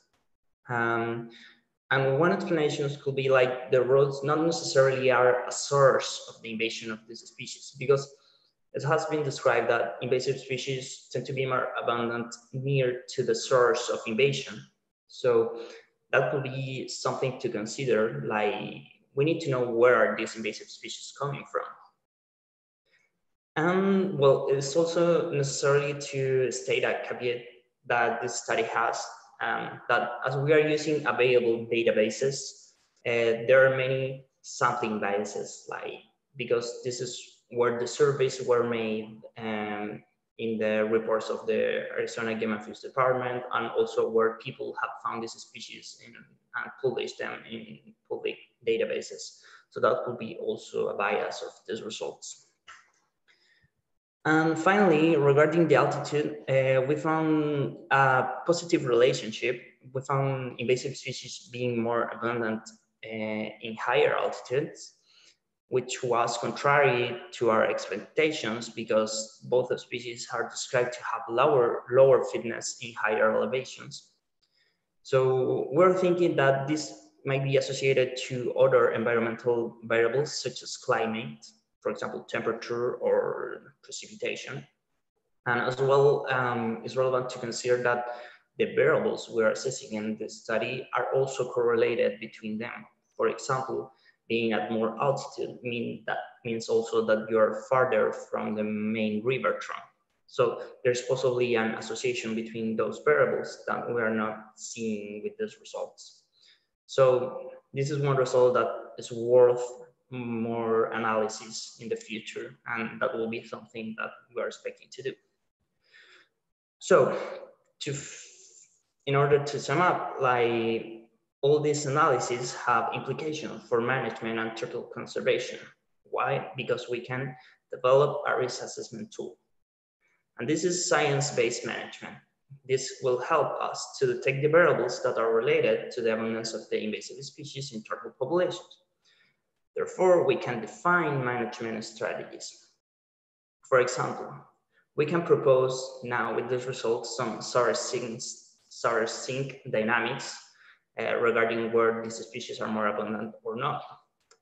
Also, if we want to do like invasive species removal, we know in which turtle populations these invasives are doing worse. So we can do more effective removal of invasive species. And all this has the ultimate goal to improve the health of the wild turtle populations. And this can be applied to different cases of different invasive species or other threats.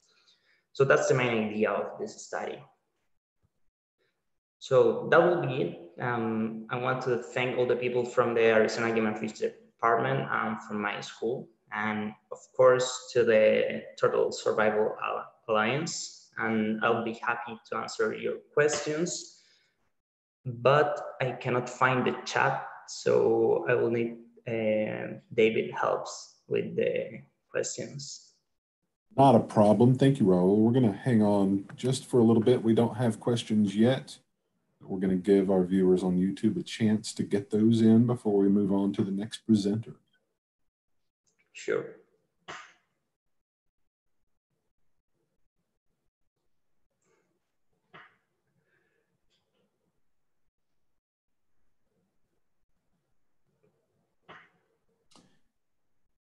Are there any specific areas that you believe should be the focus of conservation efforts? Yes, so um, there are some populations and some areas of the um, on the distribution of the mud turtles that have very low invasion of the of crayfish and bullfrogs. I think one main concern for us is to preserve those populations, like try to avoid the invasives getting there.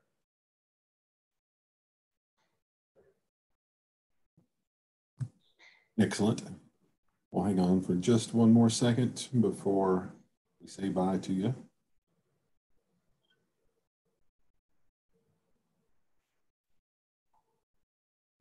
And that's it. Thank you very Thank you so much.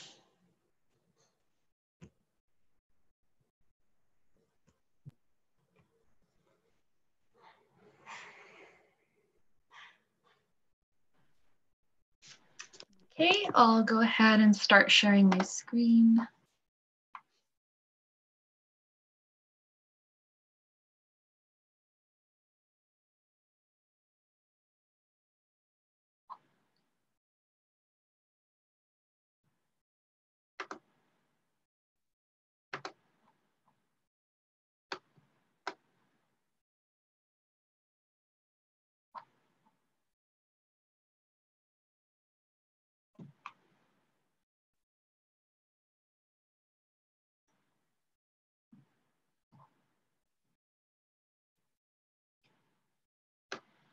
All right, so hello everyone. Uh, my name is Stephanie Monzo, and I'm a graduate from the University of California, Los Angeles.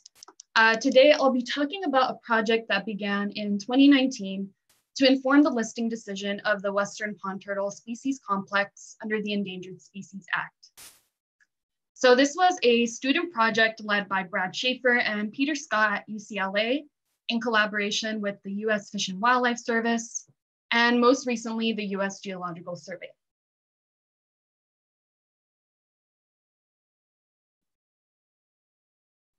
Okay, so the Western pond turtle was long considered a single polytypic species along the west coast of North America, from Washington, USA, south to northern Baja California, Mexico.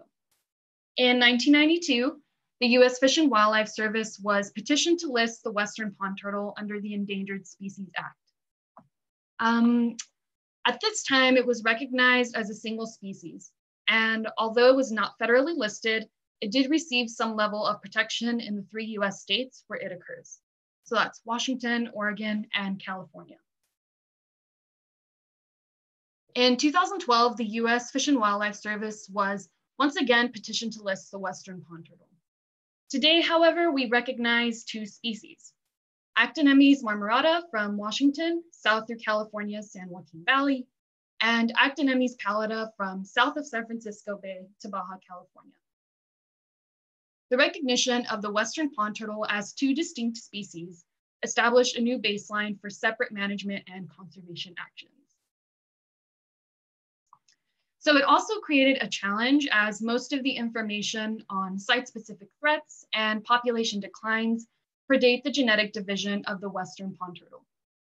And this information is also scattered across the published and unpublished literature and had not yet been analyzed separately for each species. So we analyzed the literature using the location of each study population. We considered all populations from Washington and Oregon as Marmorata, all from Mexico as Pallida, and we use the range delineation of each species in California to tell the two apart. So separating the information geographically allowed us to analyze the threats for each species. We first identified site-specific threats to Western pond turtle populations uh, through an extensive literature review based on all available peer-reviewed literature, as well as published and unpublished government agency reports we identified 13 major threat categories. Some of these are more historical, such as habitat alteration and commercial harvesting, and others are emerging threats related to climate change, such as drought, wildfires, uh, flooding, and rising temperatures. We analyze the severity of each threat using a scoring system to evaluate how a potential threat affected a population.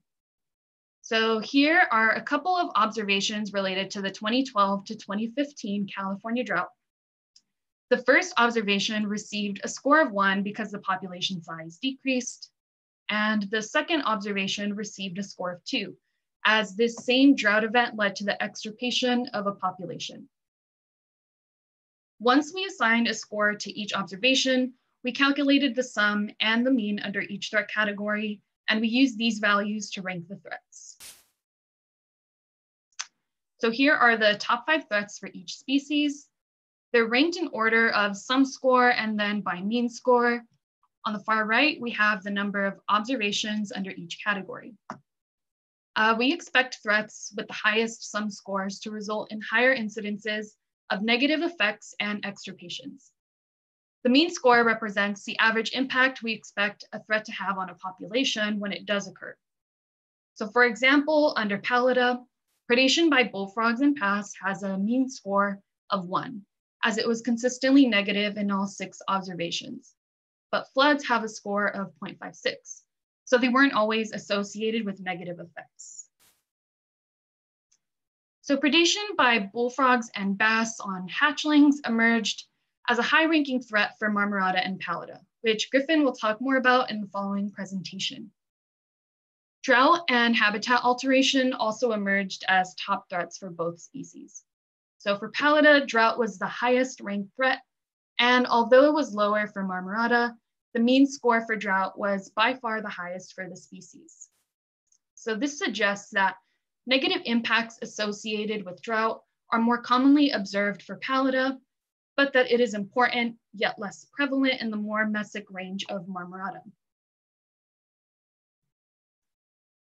To observe where Western pond turtles are maintaining healthy populations, we analyzed data from trapping and hand capture surveys conducted over the last 26 years, and we compared the mean annual captures at several sites.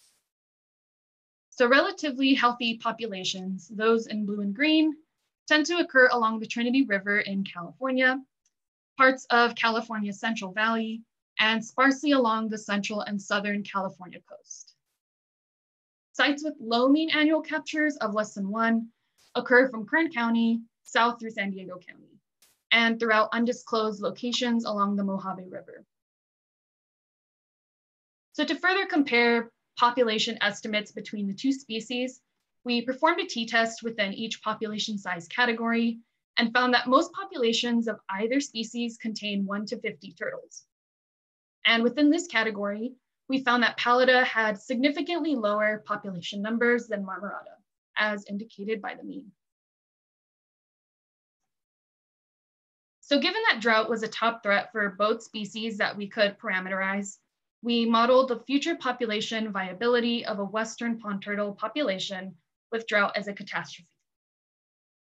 First, we parameterized our PVA models in Vortex, which is a software that can model the fate of a population. We used estimates of reproductive rates and mortality rates for Western pond turtles from the primary literature.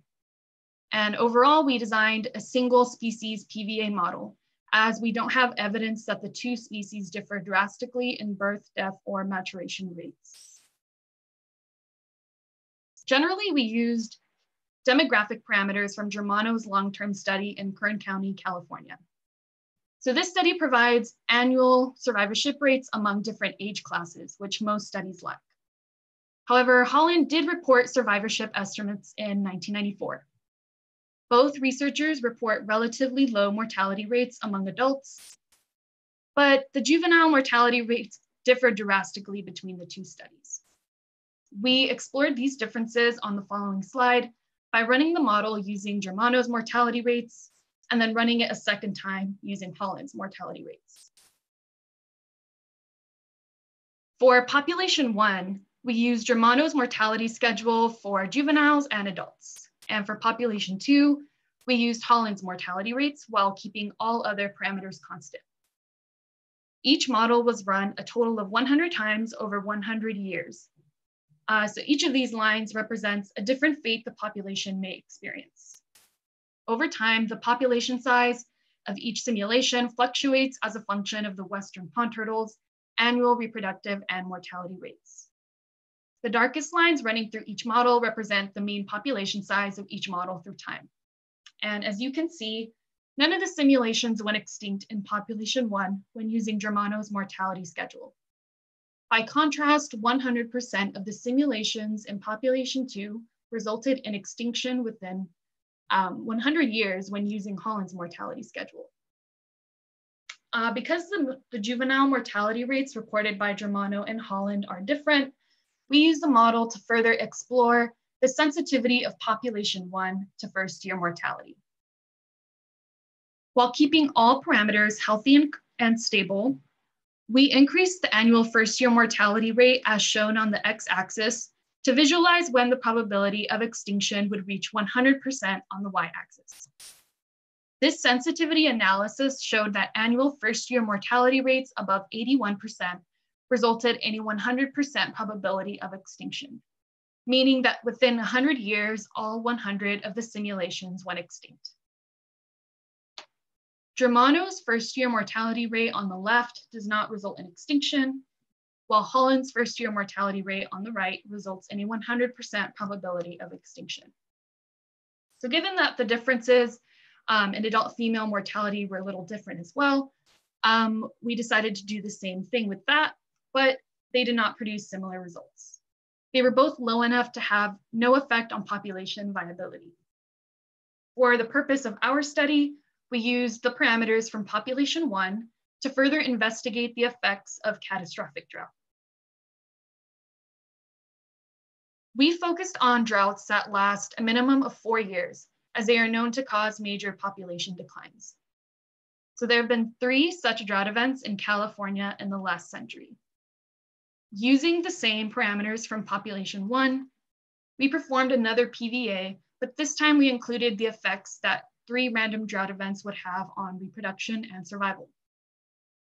We found that the mean population size decreased over time and that 15 out of 100 simulations went extinct.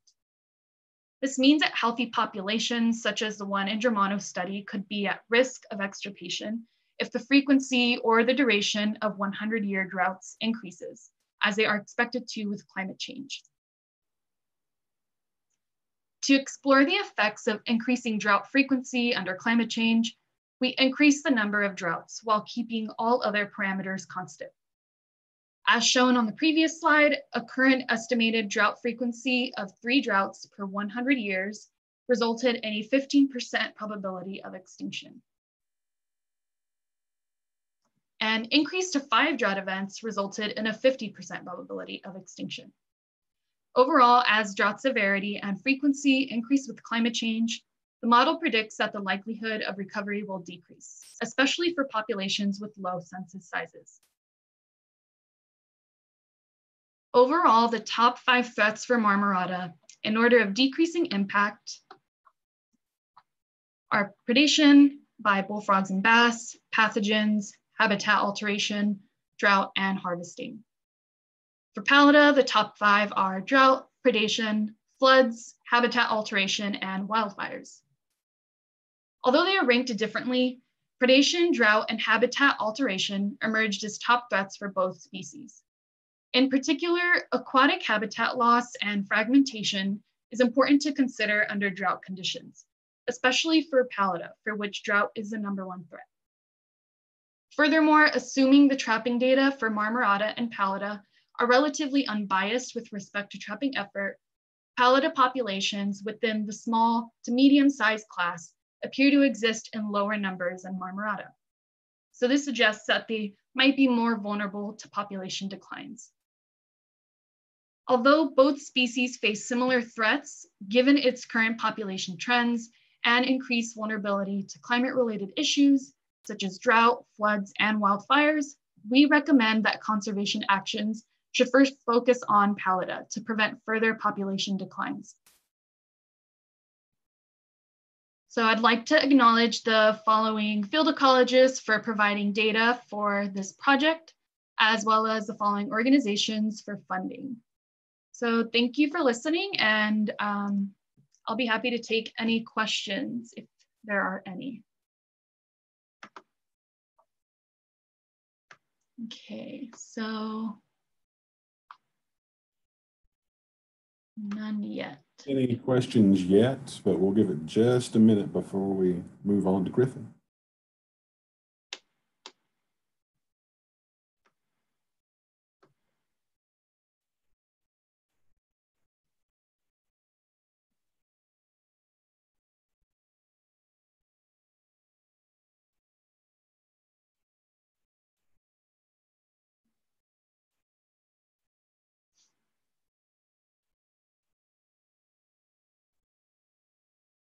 We'll give it just a minute longer.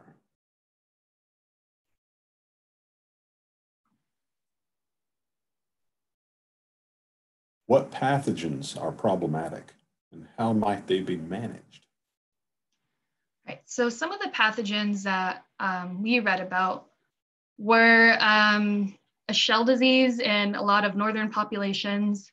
Um, as of yet, I don't think they identified what kind of pathogen that was um, but I think there are research efforts to figure that out. Um, and then I think there's there's been a lot of like unidentified pathogens that cause either the shell disease or respiratory disease, um, but they haven't been able to identify what they are yet. All Any right. direct study areas in the major wildlife zones of California? I'm sorry, what any direct study. You can go ahead and answer that one, but I've got another one that you don't see. Um, we weren't really looking at specific study areas in California, um, just looking at pretty much um, any work that prior field ecologists have done. Um, so we weren't really focusing on a particular population or study area. All right. Are the population estimates shown for Marmorata based on studies, mark recapture, or just number caught like in one week? So we made sure that all of these were mark recapture um, just so that we can keep, keep track of like how many unique turtles were caught each year.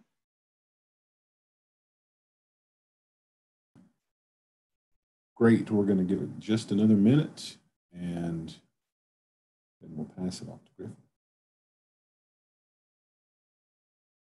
And that's it. Thank you, Stephanie. Thank you.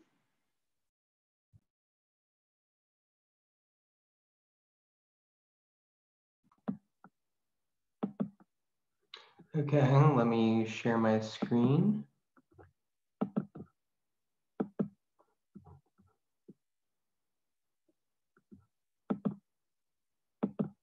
Okay, so that looks good. Okay, hi everyone, I'm Griffin Nicholson. So as with the work just presented by Stephanie, this research began as an undergraduate senior project at UCLA, co-advised by Peter Scott and Brad Shaffer, and we collaborated with the USGS. So today I'll be discussing about part of our research, which we recently published in the journal PeerJ. And I'll be discussing how we um, assessed the demographic trends of Western pond turtles over time, and we also assessed what may have caused these demographic trends. So as Stephanie mentioned, Western pond turtles are facing severe threats, which are causing declines in both population size and in range.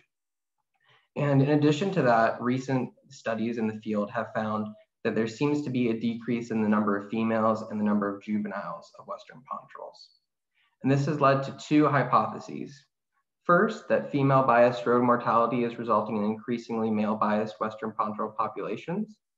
And second, that high juvenile mortality from non-native predatory species like bullfrogs is resulting in reduced recruitment. Despite this concern of the demographic changes, they have not been quantified long-term previously, and the causes of the, these potential causes of the demographic changes have been understudied overall. So to remedy this, our objectives were two. We had two objectives. Our first objective was to quantify trends in sex ratio and mean carapace length over time. Um, in this case, mean carapace length was it served as a proxy for age, the average age of populations, because that was the parameter we were interested in to see if recruitment has changed over time. And it was also important to us to assess, as the species has recently been separated into two distinct species, we wanted to assess them separately because as Stephanie showed in her presentation, um, each species is facing different severity of each threat and also uh, different um, extent of each threat. And our second objective after quantifying these demographic trends were to assess whether they may be explained by road mortality in invasive predators which was represented by bullfrogs in this study. So to do this, we, um, for our first objective in assessing the demographic trends over time, we did a combination of museum specimens as historical data and contemporary field studies as our contemporary data. So to collect our museum data, we analyzed approximately 500 museum specimens at three different museums. And those were California Academy of Sciences, the Museum of Vertebrate Zoology at Berkeley, and the Los Angeles Museum of Natural History. And these came out to be about 82% of the preserved specimens in museum collections. And for each specimen, we took a variety of data, but for our particular demographic interests, we collected size, the midline carapace length, which you can see being measured to the left, and we recorded the sex of each species based on plastral curvature and tail length of each specimen. And other information we got from online museum databases, including the collection date and the collection location. And that was important because uh, as the species separation is fairly recent, many of the specimens have not been reclassified as Marmorata or Impalida. And for our analysis, we again did it separately by species, so we had to reclassify each specimen we found. An important thing to note about our use of museum specimens as historical data is that museum specimens are often used to determine distribution changes but not often used for to assess demographic changes. And our study shows that this could be very helpful for conservation. So after recording our museum specimen data, we combined this with contemporary field studies, which was provided to us by Western pond turtle field researchers. I have listed them at the bottom of this slide. And the map to the right shows roughly in the circles where the data came from for the contemporary field studies. And we extracted the same data for each field captured um, turtle as the specimens in the museums. So this included midline carapace length, sex, um, collection date, and collection location. And we did account for recaptures in our analyses as well. And then we combined it with the historical museum data to quantify our demographic trends, which I'll now talk about each demographic trend.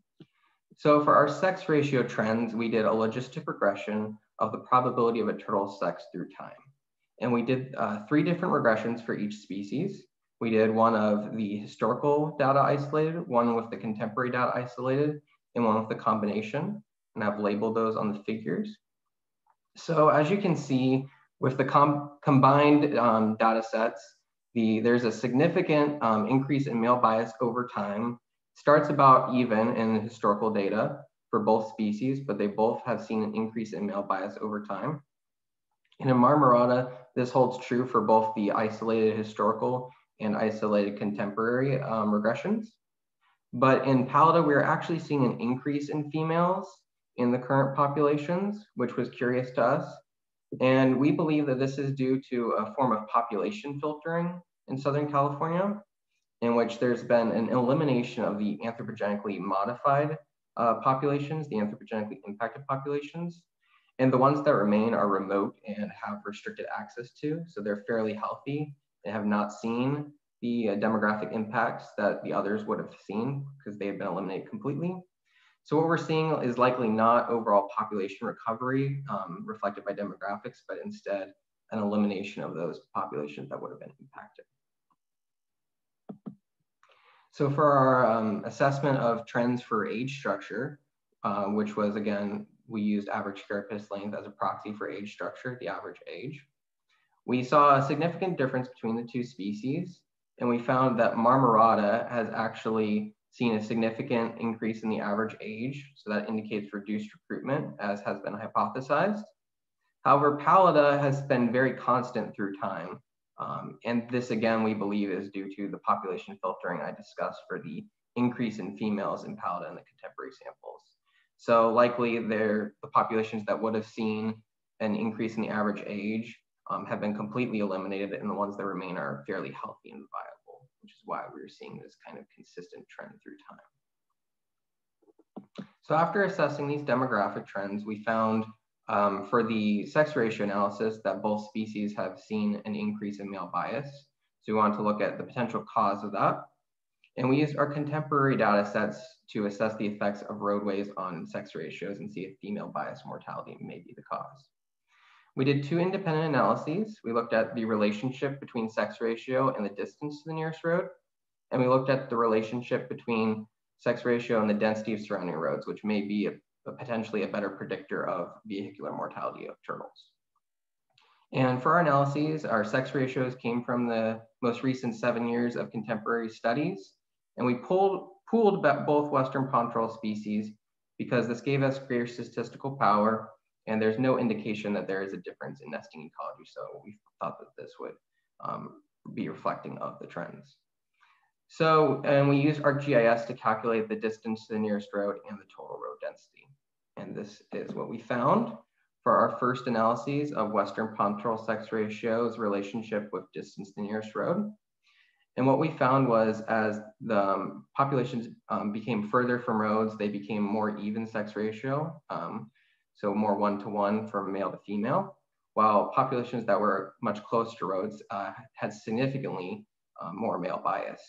And there was also a lot more variability in sites that were um, closer than 220 meters to a road than sites which were greater than 220 meters from a road.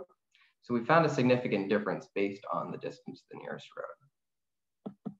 We also found um, in our analyses of Western pond sex ratios based on road density that there was a significant increase in male bias as the road density around populations increased. And this was within 400 meters of the body of water each uh, population was associated with in our contemporary data.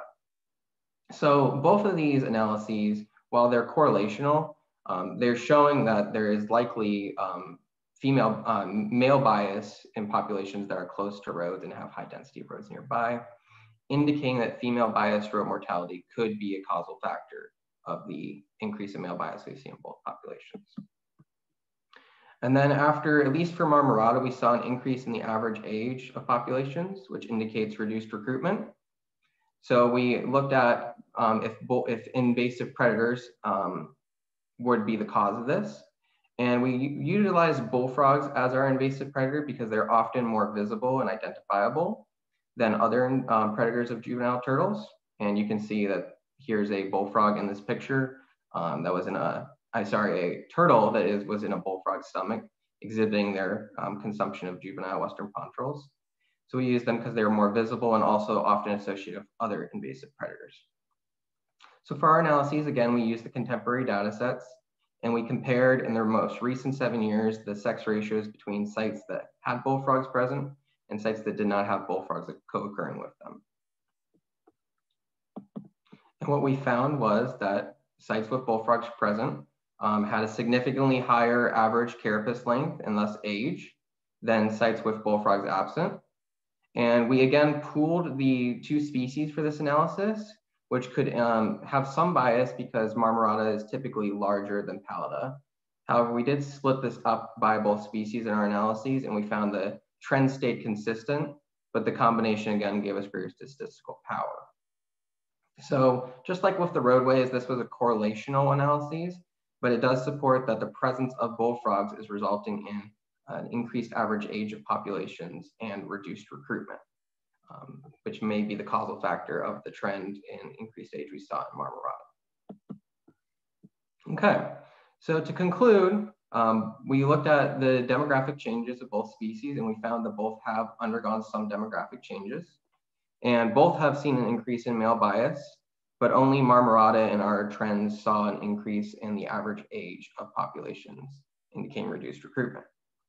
And this could be very important to the long-term health of these species because even though, as we've heard today, that they have very long lifespans, if they're not, if there's no recruitment occurring and there's no females in the populations, most of the females are being eliminated, then this could lead to long-term declines. So furthermore, we, uh, we saw that roads and non-native predators of juvenile western pond turtles like bullfrogs um, are significantly um, associated with some of these demographic trends. And while we, it was correlational, both of them seem to be potential causal factors of the demographic trends uh, we witnessed. And finally, we would also like to restate that natural history collections can provide historical insights into demographic trends as we have exhibited here. So they can be important tools for conservation in the future to look at changes in demographics. Okay, and we I'd like to thank all the museum curatorial staff who gave us access to museum collections and provide their time and assistance. And I'd also like to thank all of the field ecologists who provided data for these analyses. And I've also put the citation for our published uh, work down below for those who are more interested in finding out more. Okay, thank you so much for listening to my talk. And I will take questions now. I see the chat is open. Okay. Um, so first question, uh, dumb question, but how slash who? Sorry, it's not a dumb question, but that, that was how it was phrased. So I'm just saying that. Um, dumb question, but how slash who is introducing the bullfrogs? Um, so bullfrogs, um, at least in a lot of locations where they spread, um, are usually like there was bullfrog farms growing. A lot of them have escaped. Um, there's a lot that could be um, introduced by people. So there's a variety of ways they've been introduced.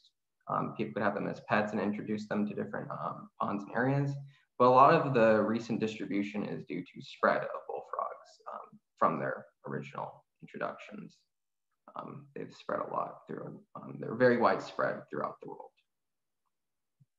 Okay, um, any other questions? There's one more here. Do you think that the effects of bullfrogs and co-distributed non-native species can be separated? Um, could you repeat that? Do you think that the effects of bullfrogs compared to the co-distributed not other non-native species can be separated or discerned? Um, I think to an extent, um, so it's different non-native species are likely um, transported in different ways. However, a lot of the places where you see them, they're often associated with each other. So I, there's likely a, I, at least I would believe that there would be a relationship between um, introduction sites, so where there's more access for species to be introduced, um, which is like more anthropogenically impacted areas, which is often why we see these species being introduced together. Um, I know there's also some work on looking at kind of looking at the interactions between different invasives together, such as bullfrogs and crayfish, and how um, sometimes they actually kind of like can limit each other. So, and sometimes they help each other as well. But bullfrogs and crayfish seem to have contradictory effects, which limiting their, when they co-occur, limiting their effects. Based on the bullfrogs eating a lot of crayfish, basically. Another question from um, Barry's how do you explain, or how would you explain the high abundance of western pond turtles in Central Valley at uh, where bullfrogs are also numerous? Yeah, um, so well, so, some populations you still find a lot of turtles, um, but they may not have the recruitment due to some of these predators of juveniles. Um, so that could be one reason why you're seeing a lot of populations that since the turtles are long lived and if there's a lot of adults and not much affecting them, um, like other anthropogenic impacts, then those populations could remain for a long time. Um, also, there could just be the bullfrogs could have just reached there and their effects have not been seen yet as the bullfrogs continue to expand. Um, recommendations for a distance of barrier fencing from roadway bridges. Um, so, well, based on our data, we saw like a shift in significance at about 220 meters away from the Western turtle populations. So at about 220 meters would be, I'd say, a good place to do some conservation measures to potentially protect turtles from uh, vehicular mortality. So that would be kind of the distance I would recommend um, looking at for future conservation, at least based on our, our data sets. Okay. Thank you very much, Griffin. Thank you. Stop the sharing.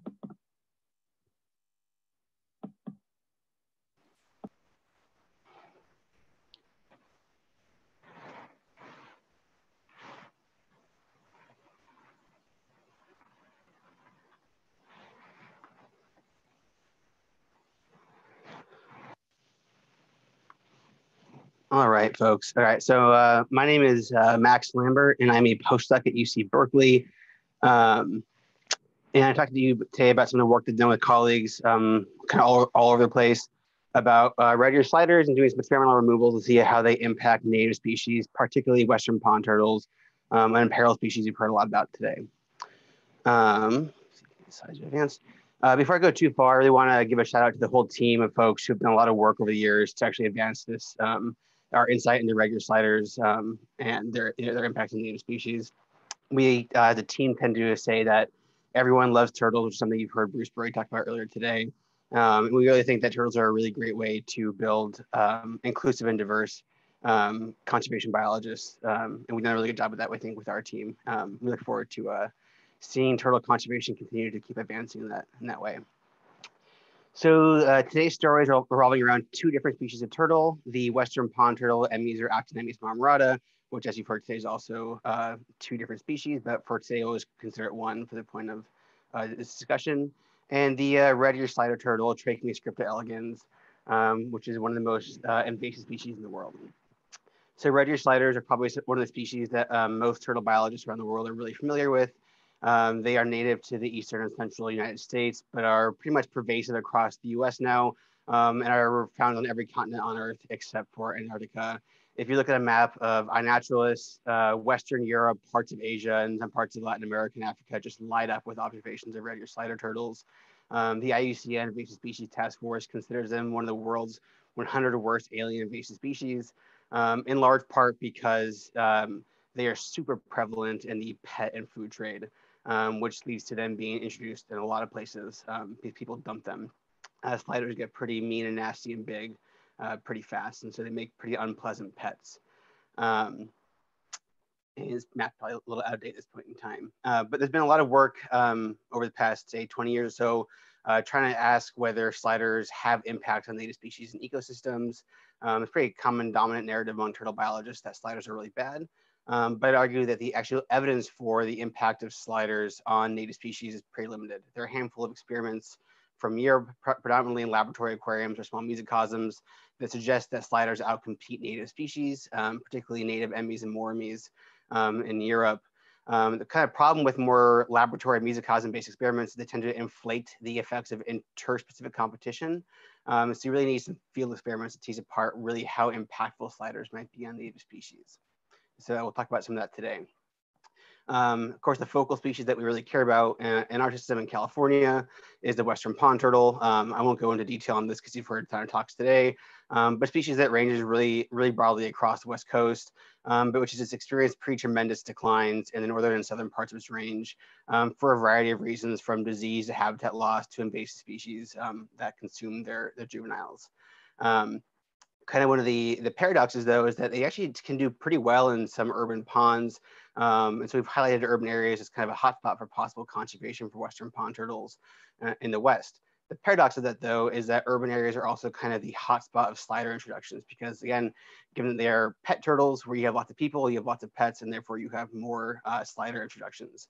And so, if we're really going to think about urban areas um, or really anywhere in California or the West for pond turtle conservation, we really have to consider what the impacts of sliders might be and how you might control those impacts.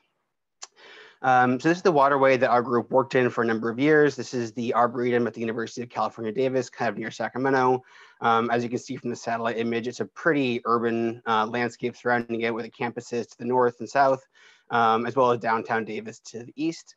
Um, the waterway is surrounded by two major freeways here, as you can see in the south and, and west side of the image.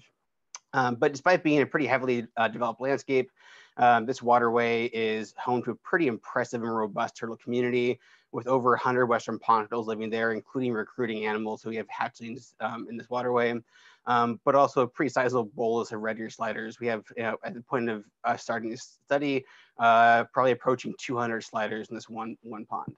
Um, and we used this waterway for a number of years, pre predominantly through Brad Shaffer's um, herpetology course, to really give undergraduates a really good opportunity to study herpetology in the field, but also to study some conservation relevant projects. Um, and we've learned quite a bit over the years about kind of the, the relative biological differences between sliders and Western pond turtles. Um, our team, though, was back in 2011. We're all getting ready to leave UC Davis for various places, including Brad. Um, and we had kind of one final opportunity to really test whether um, the sliders in this waterway were really having an impact on pond turtles using an experimental approach in the field. Um, so 2011, we embarked on a big experimental slider removal from this pond um, and spent the next year after that measuring the impacts on Western pond turtles. So let's take a look at what some of that data looked like. So over the course of a, a little over a month, we um, predominantly trapped, but also hand captured um, and removed almost 180 red ear sliders from the single waterway. So think about 180 turtles from a single pond in about a month. It's a pretty impressive amount of animals to remove. Uh, that's equivalent to about 101 kilograms of turtle biomass or 220 pounds. Uh, for context, I weigh about 220 pounds. So it's kind of a, a max size pile of turtles we pulled out of one waterway in a single year. Um, and the graph here shows the trap day on the x-axis of our, of our effort. Um, on the y-axis is the percent total of all the removed sliders we had. And I show this mostly to show that the two curves for males and females here um, start to asymptote over about 20 to 30 day period, um, which tells us that we've actually removed the vast majority of the sliders in the population. Um, removing any aquatic species um, completely is really hard to do, but we did remove, we think, the majority of the turtles that were there. Um, and so if we were to, were to see a response in the Western pond turtles, uh, we think we did enough of a removal to see that response. So what might some of those responses look like? One of the big things that we really tested and saw, we were excited about, was looking at body condition in pond turtles. Body condition, um, in this case, is um, body mass for pond turtles controlling for shell size. Um, and so what you see here on the graph is body condition on the y-axis, and then two different sets of dots. Um, here are the pre and post slider removal body condition measurements. Um, for 25 pond turtles we caught immediately before and immediately after the removal, uh, about a year apart. Um, the black triangles are male pond turtles and the red circles are female uh, pond turtles. Um, so what you see here are, changes in body condition across that year. Um, and some turtles obviously showed um, no change, some showed a slight decrease. Um, but in general, most of the pond turtles showed a pretty substantial increase in body condition um, about a year after we did the, the big slider removal. Um, and on average, it's about 40 gram increase um, in body condition for a given shell size. And that's actually a pretty impressive change in body condition, given that on average, our pond turtles were four to 600 grams up to a thousand grams at most. So it's a pretty huge increase in four to 10% of their body mass um, in just a single year um, at the same exact time of year, um, both before and after the slider removal. So we do see that removing sliders had an impact on um, body condition. The other thing we really thought about was um, whether sliders were outcompeting uh, pond turtles for basking sites and shifting the basking behavior and basking site use of pond turtles. Um, and the Arboretum at Davis is pretty nice because it kind of uh, flows in kind of a, a west-east sort of gradient. Um, and along that west-east axis, we actually have a, a, number of different environmental variables that also correlate nicely. Um, one of the big ones we really care about is human activity. So kind of uh, pedestrian and bike foot traffic or bike traffic um, on the walkway surrounding the, the waterway here. Um, with high levels of human activity towards the east end of the waterway and very low amounts of human activity towards the west end. Um, and there are a few other sort of environmental characteristics that um, vary across this gradient too, um, which you can read about in the paper if you're super keen. So what do we see? Um, so here on the y-axis are the number of Emys or pond turtles basking per day from our, our, our models. And on the x-axis here is the distance to the west end of the arboretum. Um, uh, again, that west east axis. So uh, on the on the left side of the x-axis is the far west end of our arboretum, and you move towards the far east end or downtown Davis toward the east to the right hand side of this graph. Um, and the black curve here is bas is basking pond turtle um, distribution before the regular slider removal. So pretty obvious trend here um, where pond turtles are really concentrated in the west end of the arboretum and their basking distribution declines as you move, further and further east where there are more people um, being active. So what happens when we remove sliders? well, we see their basking distribution really, really dramatically changes. Um, pond turtles are, are, no longer uh, concentrated um, in the west end of the arboretum. They're actually not concentrated anywhere. They show a pretty flat and even distribution across the waterway, which is pretty impressive to see this huge shift in basking um, all of a sudden. And one of the reasons we think this might be happening is that pond turtles are actually pretty grumpy um, turtles. They don't like basking near um, other anything really, other pond turtles or other sliders. And so um, by simply removing the density of uh, turtles in the arboretum, regardless of species identity, um, we may actually have allowed pond turtles to kind of flatten out their distribution and be a little more spread out like they prefer to do in the first place. Um, the thing you'll notice though is that the red curve here is much lower than the black curve. Um, and we actually saw uh, far fewer pond turtles using the basking sites that we have been monitoring. And so we actually think they were actually um, starting to use other areas of the arboretum they may not have been previously. It's kind of an unexpected result from removing uh, almost 200 sliders. And I won't really dwell on this for too long, but I really want to show you also um, the residual slider basking distributions as well. So obviously we, we didn't remove all the sliders, but we removed um, the vast majority. So this is the same sort of graph we saw for pond turtles, but instead for sliders. Um, so the black curve here is the uh, red slider basking distribution across the arboretum. The black curve is before removed most of them um, show the opposite pattern of pond turtles. So they're actually concentrating their basking activity towards the far east end of the arboretum, um, where humans are, are very active, um, and kind of a decline towards the west, though they're still pretty prevalent and abundant um, across the whole arboretum. Those sliders that are left, the red curve here after the big removal though, um, are, is pretty fascinating to us. What we see is actually sliders abandon a ton of basking sites to the west and center, central part of the um, arboretum, and really concentrate their basking activity to just a handful of sites to the far east, um, the same places where they're already concentrated their basking behavior before. Um, and kind of one of the fun insights from this, we think, is that the sliders were so dense here, so abnormally dense in the Arboretum at Davis, um, that they actually had high levels of intra-specific competition, where they were actually pushing each other out of the more, more preferred sites um, towards where the pond turtles happen to be. Um, so really an interesting dynamic we can only pick up really if we do um, these kinds of field experiments. So what are the kind of big takeaways from this? Um, the kind of question we get all the time is, is it even worth removing sliders? Um, kind of the short answer is maybe, which is not really a satisfying answer.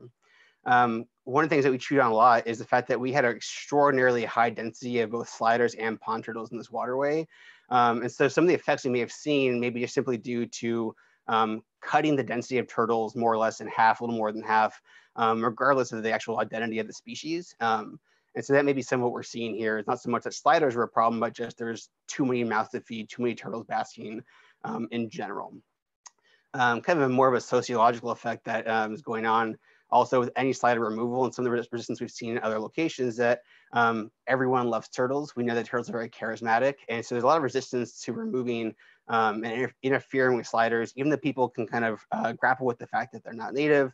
Um, you can have a lot of folks who are pretty, pretty against you removing them um, in general. So that can be a really huge challenge to this. And something we actually um, felt when we were at the Arboretum, we got the, the police called on us a number of times, uh, even though we were kind of in our own backyards.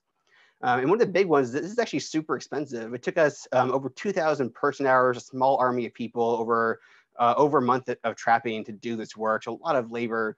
Um, and if you kind of calculate California Department of Fish and Wildlife um, scientific aid wages, it would have cost the state about $30,000 to do the same work for a single population of sliders to be removed. So um, very labor intensive, very monetarily expensive. Um, and part of this is kind of uh, a slider removal is more or less all for naught if you don't actually stem the flow. They're still very common in the pet trade, still very common in the food trade. Um, and it's been a few years now since we did the removal, and there are a ton more sliders back in this waterway. So they're just kind of uh, actively being released all the time.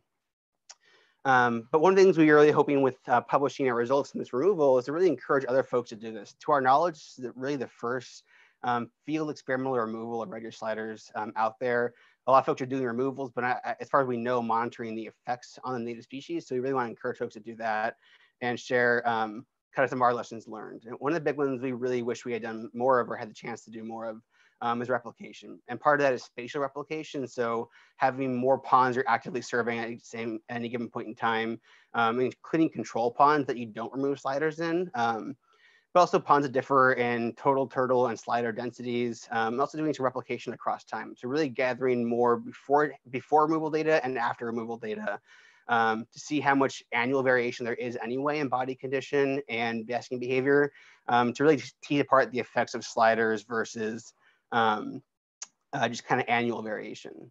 And one of the other kind of big things people take away is to really expect the unexpected. The, benefit of a, a laboratory and mesocosmic experiment is that it's very controlled. So you can feel pretty confident that your treatments are having the effect.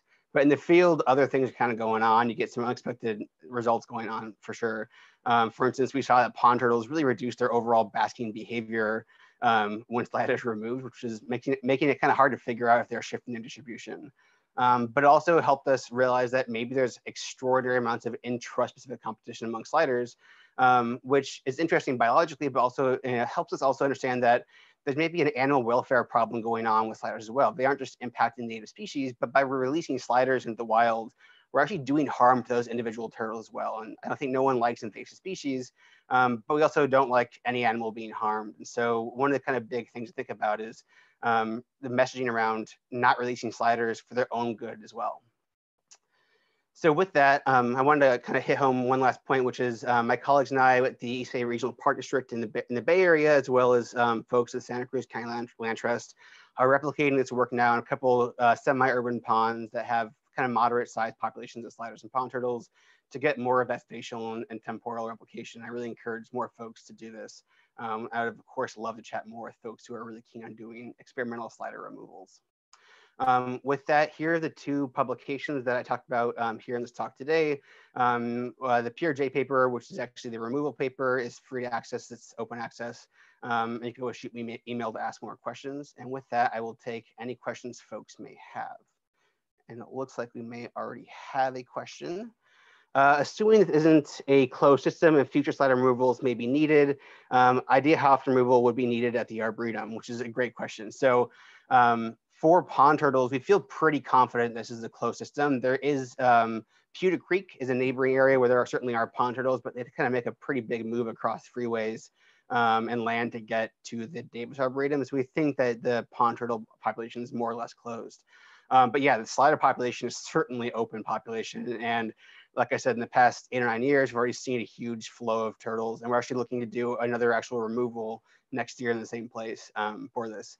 My guess is if you're actually going to do a slider removal and your goal is to keep the population low, it would be every two or three years doing a pretty intensive effort to keep all newcomers out. So um, I really hope as a community of turtle biologists, we can maybe put some pressure on local, uh, state, and federal agencies to actually ban stem of these turtles um, in the pet and food trade. Because that's really going to be more important than actually doing removals going forward. In California, there are certainly millions of sliders, and there's no way you can pull them all out or rehome them, and euthanizing them is just an ethical nightmare. Uh, second question, do you think that music mesocosm experiments have anything to add to this work? If so, what would you like to see as an experimental design? Um, that's a really good question. So I opened up kind of talking about how there are problems with mesocosm and lab experiments, um, but they also offer a lot of value and they do show um, kind of a more controlled setting. So I think in this case with something like pond turtles, um, it'd be really nice to actually do density experiments. So seeing how the relative abundance of pond turtles to sliders in, mesocosms um, might shape the probability of basking, where a pond turtle might bask, and how much food they have access. So if you have one, one pond turtle to five sliders, how does that differ from five pond turtles to one slider? Um, we certainly have plenty of populations where uh, pond turtles outnumber sliders five or 10 to one. Um, and so it's not really clear sliders matter when you have that many pond turtles outnumbering them. Uh, so yeah, I think I think densities are really the, the, the big one to play with in the, the relative densities of the two species. Um, third question here is, are sliders in California mostly in lowland urban waters, um, or how far do they occur in foothills or mountain waters? Um, that's a really great question. So some cool work by uh, Phil Spinks and Bob Thomson a few years back now in the Sacramento Valley, um, River Valley, showed that the sliders are more or less restricted to urban areas. Um, and that's pretty much true actually wherever you look. If you go on iNaturalist, you don't really find sliders in any sort of remote, remote rural or um, natural environments. Um, at least not any uh, meaningful numbers. You do get them in agricultural landscapes in Central Valley and a little bit in the foothills as well. Um, and you'll find them in kind of more natural areas that are kind of uh, rural with a handful of people um, but they are going to be mostly in, in urban places. Uh, so I think they weren't they aren't going to be a huge problem outside of that. Uh, question four is: Do you notice any impacts of the slider removal on habitat quality or other characteristics? Oh, this is uh, my favorite question. And I really wish we had measured it and something we're doing now. So the year after we moved sliders, we went to the Arboretum and the water was absolutely crystal clear. Um, and a huge part of that, as any of you who've ever seen a turtle and kicked it knows, is turtles are disgusting. They are just huge eaters. They poop a lot. They're big nutrient cyclers. Um, I think just a simple fact of removing almost 200 turtles or a couple hundred pounds of turtle biomass, we removed a big source of nutrient cycling in this waterway, um, which just like minimized eutrophication. Um, we didn't quantify that, which is a bummer, but something we're doing now in the two projects I'm doing um, trying to replicate its work is look at the effects of sliders on ecosystems. We have some good theoretical work and a couple good empirical studies on turtles generally. So they really should shape ecosystems and habitat quality, um, in part because turtles with their shells have a huge phosphorus demand. So they should be pulling out phosphorus, which is a very limiting nutrient, um, but just they're also big eaters and poopers. And so um, if it, folks keep doing this further going, going forward, I would definitely encourage you to measure water quality um, and other sort of ecosystem processes. So my guess is there's huge changes when you pull out lots of sliders. And kind of a, a, fifth question we have is, have you found any other pet trait species released in the same waterway system? Excellent question. Um, when we are doing the removal, we actually pulled out something like a dozen uh, stingpot turtles, Sternotherus odoratus, um, two adults, and a number of hatchlings that were right there on the arboretum. Uh, so those are not common in the pet trade, but they are in the pet trade. Um, so those are there. We pulled out um, a painted turtle and a cooter, um, uh, Pseudemys. Um, and um, when I was there, so Chrysemys and Pseudemys when I was back working there. Uh, but this, if you kind of look up a, a, paper led by Phil Spinks, I think back in like 2008 or something like that, um, they'd done a prior removal of turtles in the same waterway, and they even found a bog turtle in there that was uh, uh, from the East, Eastern United States. So plenty of random things from all over the place have been there. We had soft shell turtles. Um, so it's kind of a, a, nice dumpster of turtles that people have from the pet end up there. So um, it's a fun place. My guess is though that slider is based off their uh, numerical effect, but also kind of biomass effects are really the big players. So I th think that's uh, all the questions I have. And with that, I'll uh, hang up and pass it on.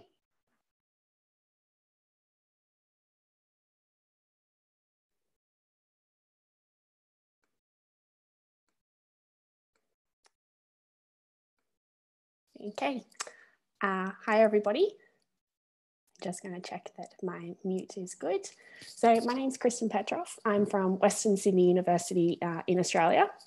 And today I'm going to be talking about distribution overlap between the critically endangered Bellinger River snapping turtle and an invasive species of short-necked turtle.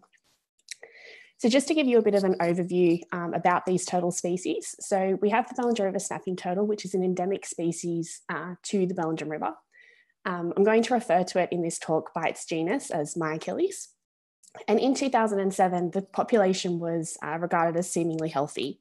Um, there was about you know, 2,000 individuals um, within the river system itself. However, in 2015, um, an unknown nidovirus um, actually wiped through the population and killed about 90% um, of the historical population within about a seven week period. This virus has uh, since been deemed the Bellinger River virus, and at the time it, it predominantly affected um, adult Myuchelys. Today we have predominantly juveniles remaining in the river, um, and population estimates suggest there's about 150 uh, individuals left. And I guess the point that we're looking at now is that we have a critically endangered species that is predominantly comprised of juveniles that have, say, five to 10 years to go in order to reach sexual maturity in order to replenish the population. So during that time, it's really important that we assess additional threats to the recovery um, of juveniles that do remain. One of those threats, which uh, is the topic of my PhD, is the Murray River shortneck turtle, uh, Emydura macquarii. Now, I do want to point out that Emydura is actually a native Australian turtle. Um, it's found in the southeast uh, area of Australia, and it is actually declining in its range. In the 1990s, however, it was introduced into the Bellinger River, and since then it has increased in numbers. Population estimates at the moment suggest that about 500 uh, Emydura inhabits the Bellinger River. Now, the presence of Emydura in the Bellinger River actually poses a potential threat to the recovery of Myuchelys. So the topic of my thesis is uh, looking at how these two species uh, potentially interact, um, compete and hybridize, um, and what role that potentially has um, in affecting Myuchelys recovery. So to start off with, I wanted to look at how the abundances and distributions of our two species have changed uh, prior to the disease outbreak and after the disease outbreak. Um, the other question that we had as well is whether or not the two turtle species actually move similar distances or have similar home range size. So it's really important that we understand essentially how these two species overlap um, in order to understand the implications that this has for Myuchelys recovery. Um, so essentially we compared catch per unit effort across years and sites. In particular, we used our 2007 data, which is when the population of Myuchelys was seemingly healthy um, and Emydura were occurring in low numbers. We then had uh, the disease outbreak, and after that, we had more intensive monitoring um, of Myuchelys and what was left in the river. what was left in the river itself. So Myuchelys in the current sampling period, this 2015 to 2019, they occur in low numbers, and we have this switch to higher numbers of Emydura. So this graph here is essentially looking at distribution and abundance changes for Myuchelys. Um, we have distance from the ocean uh, along our x-axis and catch per unit along the y. And what we're seeing is a severe reduction in the abundance of Myuchelys, predominantly due to um, the Bellinger River virus. What hasn't changed so much though is the distribution. So if you're looking at the red squares post-disease, the distribution of Myuchelys still remains relatively the same. We've just seen a massive reduction in the number of individuals. When we look at the same uh, distribution and abundance graph for Emydura, however, we see somewhat of the reverse. So the blue circles, which is pre-disease, um, this was uh, 2007 data, the number of Emydura in the river was quite low and they were quite sporadically distributed. When we look at post-disease data, um, we've actually found an increase in the abundance of Emydura in sections of the river system. In a downstream section in particular, around the 26 to 31 uh, kilometres from the ocean, there is a large number of in, uh, Emydura within uh, these set waterholes. We looked more closely at the abundance of the turtles uh, within this section, and what we actually found is there's actually a high percentage of juveniles. So about 30 to 50% of the individuals that are actually being caught within this downstream reach um, are juveniles, which is indicative of successful recruitment occurring for Emydura. As um, other studies have pointed out, we know that turtles mainly need uh, one in 10 good years of uh, good reproductive success in order to maintain a population. And for Emydura in this sense, um, this can be quite alarming for us when we're seeing solid recruitment uh, occurring. Uh, so our second question of whether or not they move similar distances or have similar home range size. So we used uh, recapture data and radio tracking and created minimum convex polygons to essentially compare the distance moved and the home range size across species and sexes. Uh, this is just a snapshot of some of the minimum convex polygons that we created. Uh, we found no significant difference between uh, Emydura and Myuchelys in um, the amount of like, the distance that they moved. So they're both moving the same. Um, but what we did find is differences in the sexes. So males uh, for both sexes were found to move further than females and juveniles. And I do just want to point out that male Emydura in particular were found to move uh, quite far distances. So this graph on the top left-hand side, this male Emydura moved a substantial distance uh, upstream during the time of tracking. When we looked at uh, home range analysis, we found that Emydura actually have a greater home range size than Myuchelys. I do want to point out though that we take this result with a bit of grain of salt purely because we're dealing with differences in population uh, demographics. So for Myuchelys, we're dealing with a predominantly juvenile based population, whereas for Emydura, we have uh, more adults, which adults tend to move a little bit further than what the juveniles do. So because we have this overlapping distributions and we have similar movement occurring between the two species, um, it's really important to understand the interactions between the two in order to assess the threat of Emydura to our critically endangered Myuchelys. Um, and two threats in particular are hybridization and diet competition. So the next two slides are just going to go through some of the results that we found uh, for these two threats. Um, hybridization is occurring between these two species. Um, this uh, graph here is a PCOA analysis, and that essentially maps individuals in space based on their genetic similarity. So our purple circles um, highlight pure Emydura and pure Myuchelys. And when these two species mate, they produce what we refer to as F1 um, hybrids. It's kind of the same way as a donkey mating with a horse to produce a mule, except in our analogy of our F1 hybrids, um, they're actually not sterile. So they're actually able to produce um, offspring and actually mate back to one of the parental species to produce what we refer to as back crosses or introgressed individuals. Um, I guess we look at this scenario at the moment. Um, we currently have juveniles in the population, so the occurrence of hybridization we would assume would be quite low because they're not able to reproduce at the moment. But the issue becomes that when Myuchelys does reach adulthood, um, what impact is it going to have when their numbers are so low that they may actually end up encountering more Emydura as opposed to a mate of their own species? So in five to 10 years time, we may actually see an increase um, in the threat of hybridization and the incidence of hybridization because Myuchelys population numbers are low and they're more likely to encounter an Emydura instead. Um, then our results for um, overlap in uh, diet and competition. So I use stable isotope analysis to essentially look at um, overlapping trophic position between the two species at different sites along the river. Um, we calculated estimated trophic position based on uh, carbon and nitrogen isotopes found in claw samples for both the species and compared these across five different sites. At sites one and three, there was no overlap uh, in trophic position. So the two turtle species are foraging um, at different levels. However, at site five in particular, um, there is substantial overlap in trophic position uh, between the individuals that we're catching there.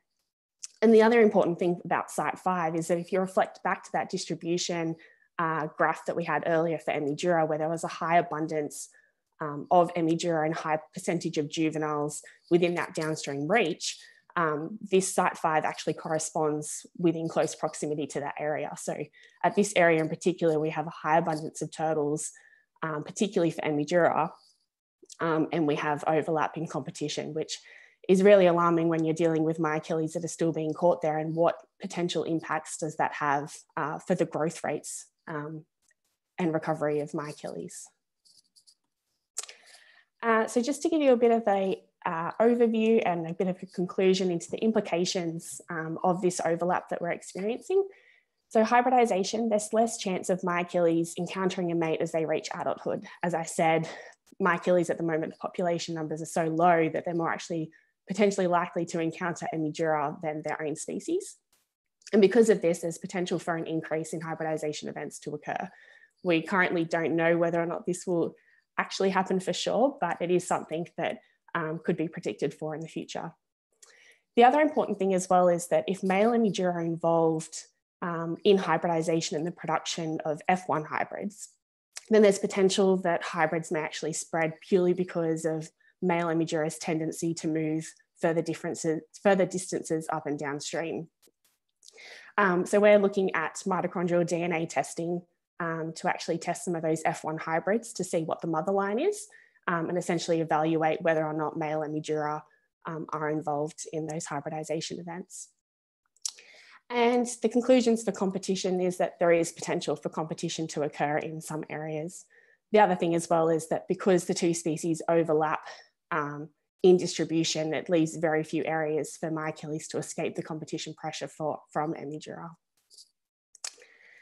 And I just want to leave you with this last thought is essentially what do we do about a native pest? So as I mentioned, Emydura in the Bellinger, um, they are invasive. However, Emydura in Australia are native. So it's really this question about whether or not we need to remove Emydura um, in order to promote the recovery of Myuchelys. And I guess we kind of uh, tend to sit on the fence a bit with this because Myuchelys itself could benefit from the removal of Emydura. You know, hybridization events in competition wouldn't occur. But at the same time, Myuchelys is critically endangered. So if we do remove Emydura, are we actually going to end up losing uh, a turtle that potentially fills a really valid ecological role within the Bellingen system? And that's the end of my talk. So I just want to thank um, our partners and funding bodies. And I'm open for questions, which I've seen a couple come through. Okay, so question one are you inferring F1 backcross status based on hybrid index score, that is the fraction of the genome of each species or the actual occurrence of heterozygotes and homozygotes? So we use uh, SNP uh, genotyping in order to look at F1 and backcross uh, status. Um, and I believe that that's with heterozygous and homozygous um, as opposed to the actual occurrence itself. So I hope that answers that for you. Uh, question two, are you looking at nidovirus in Emydura to see if they are carriers?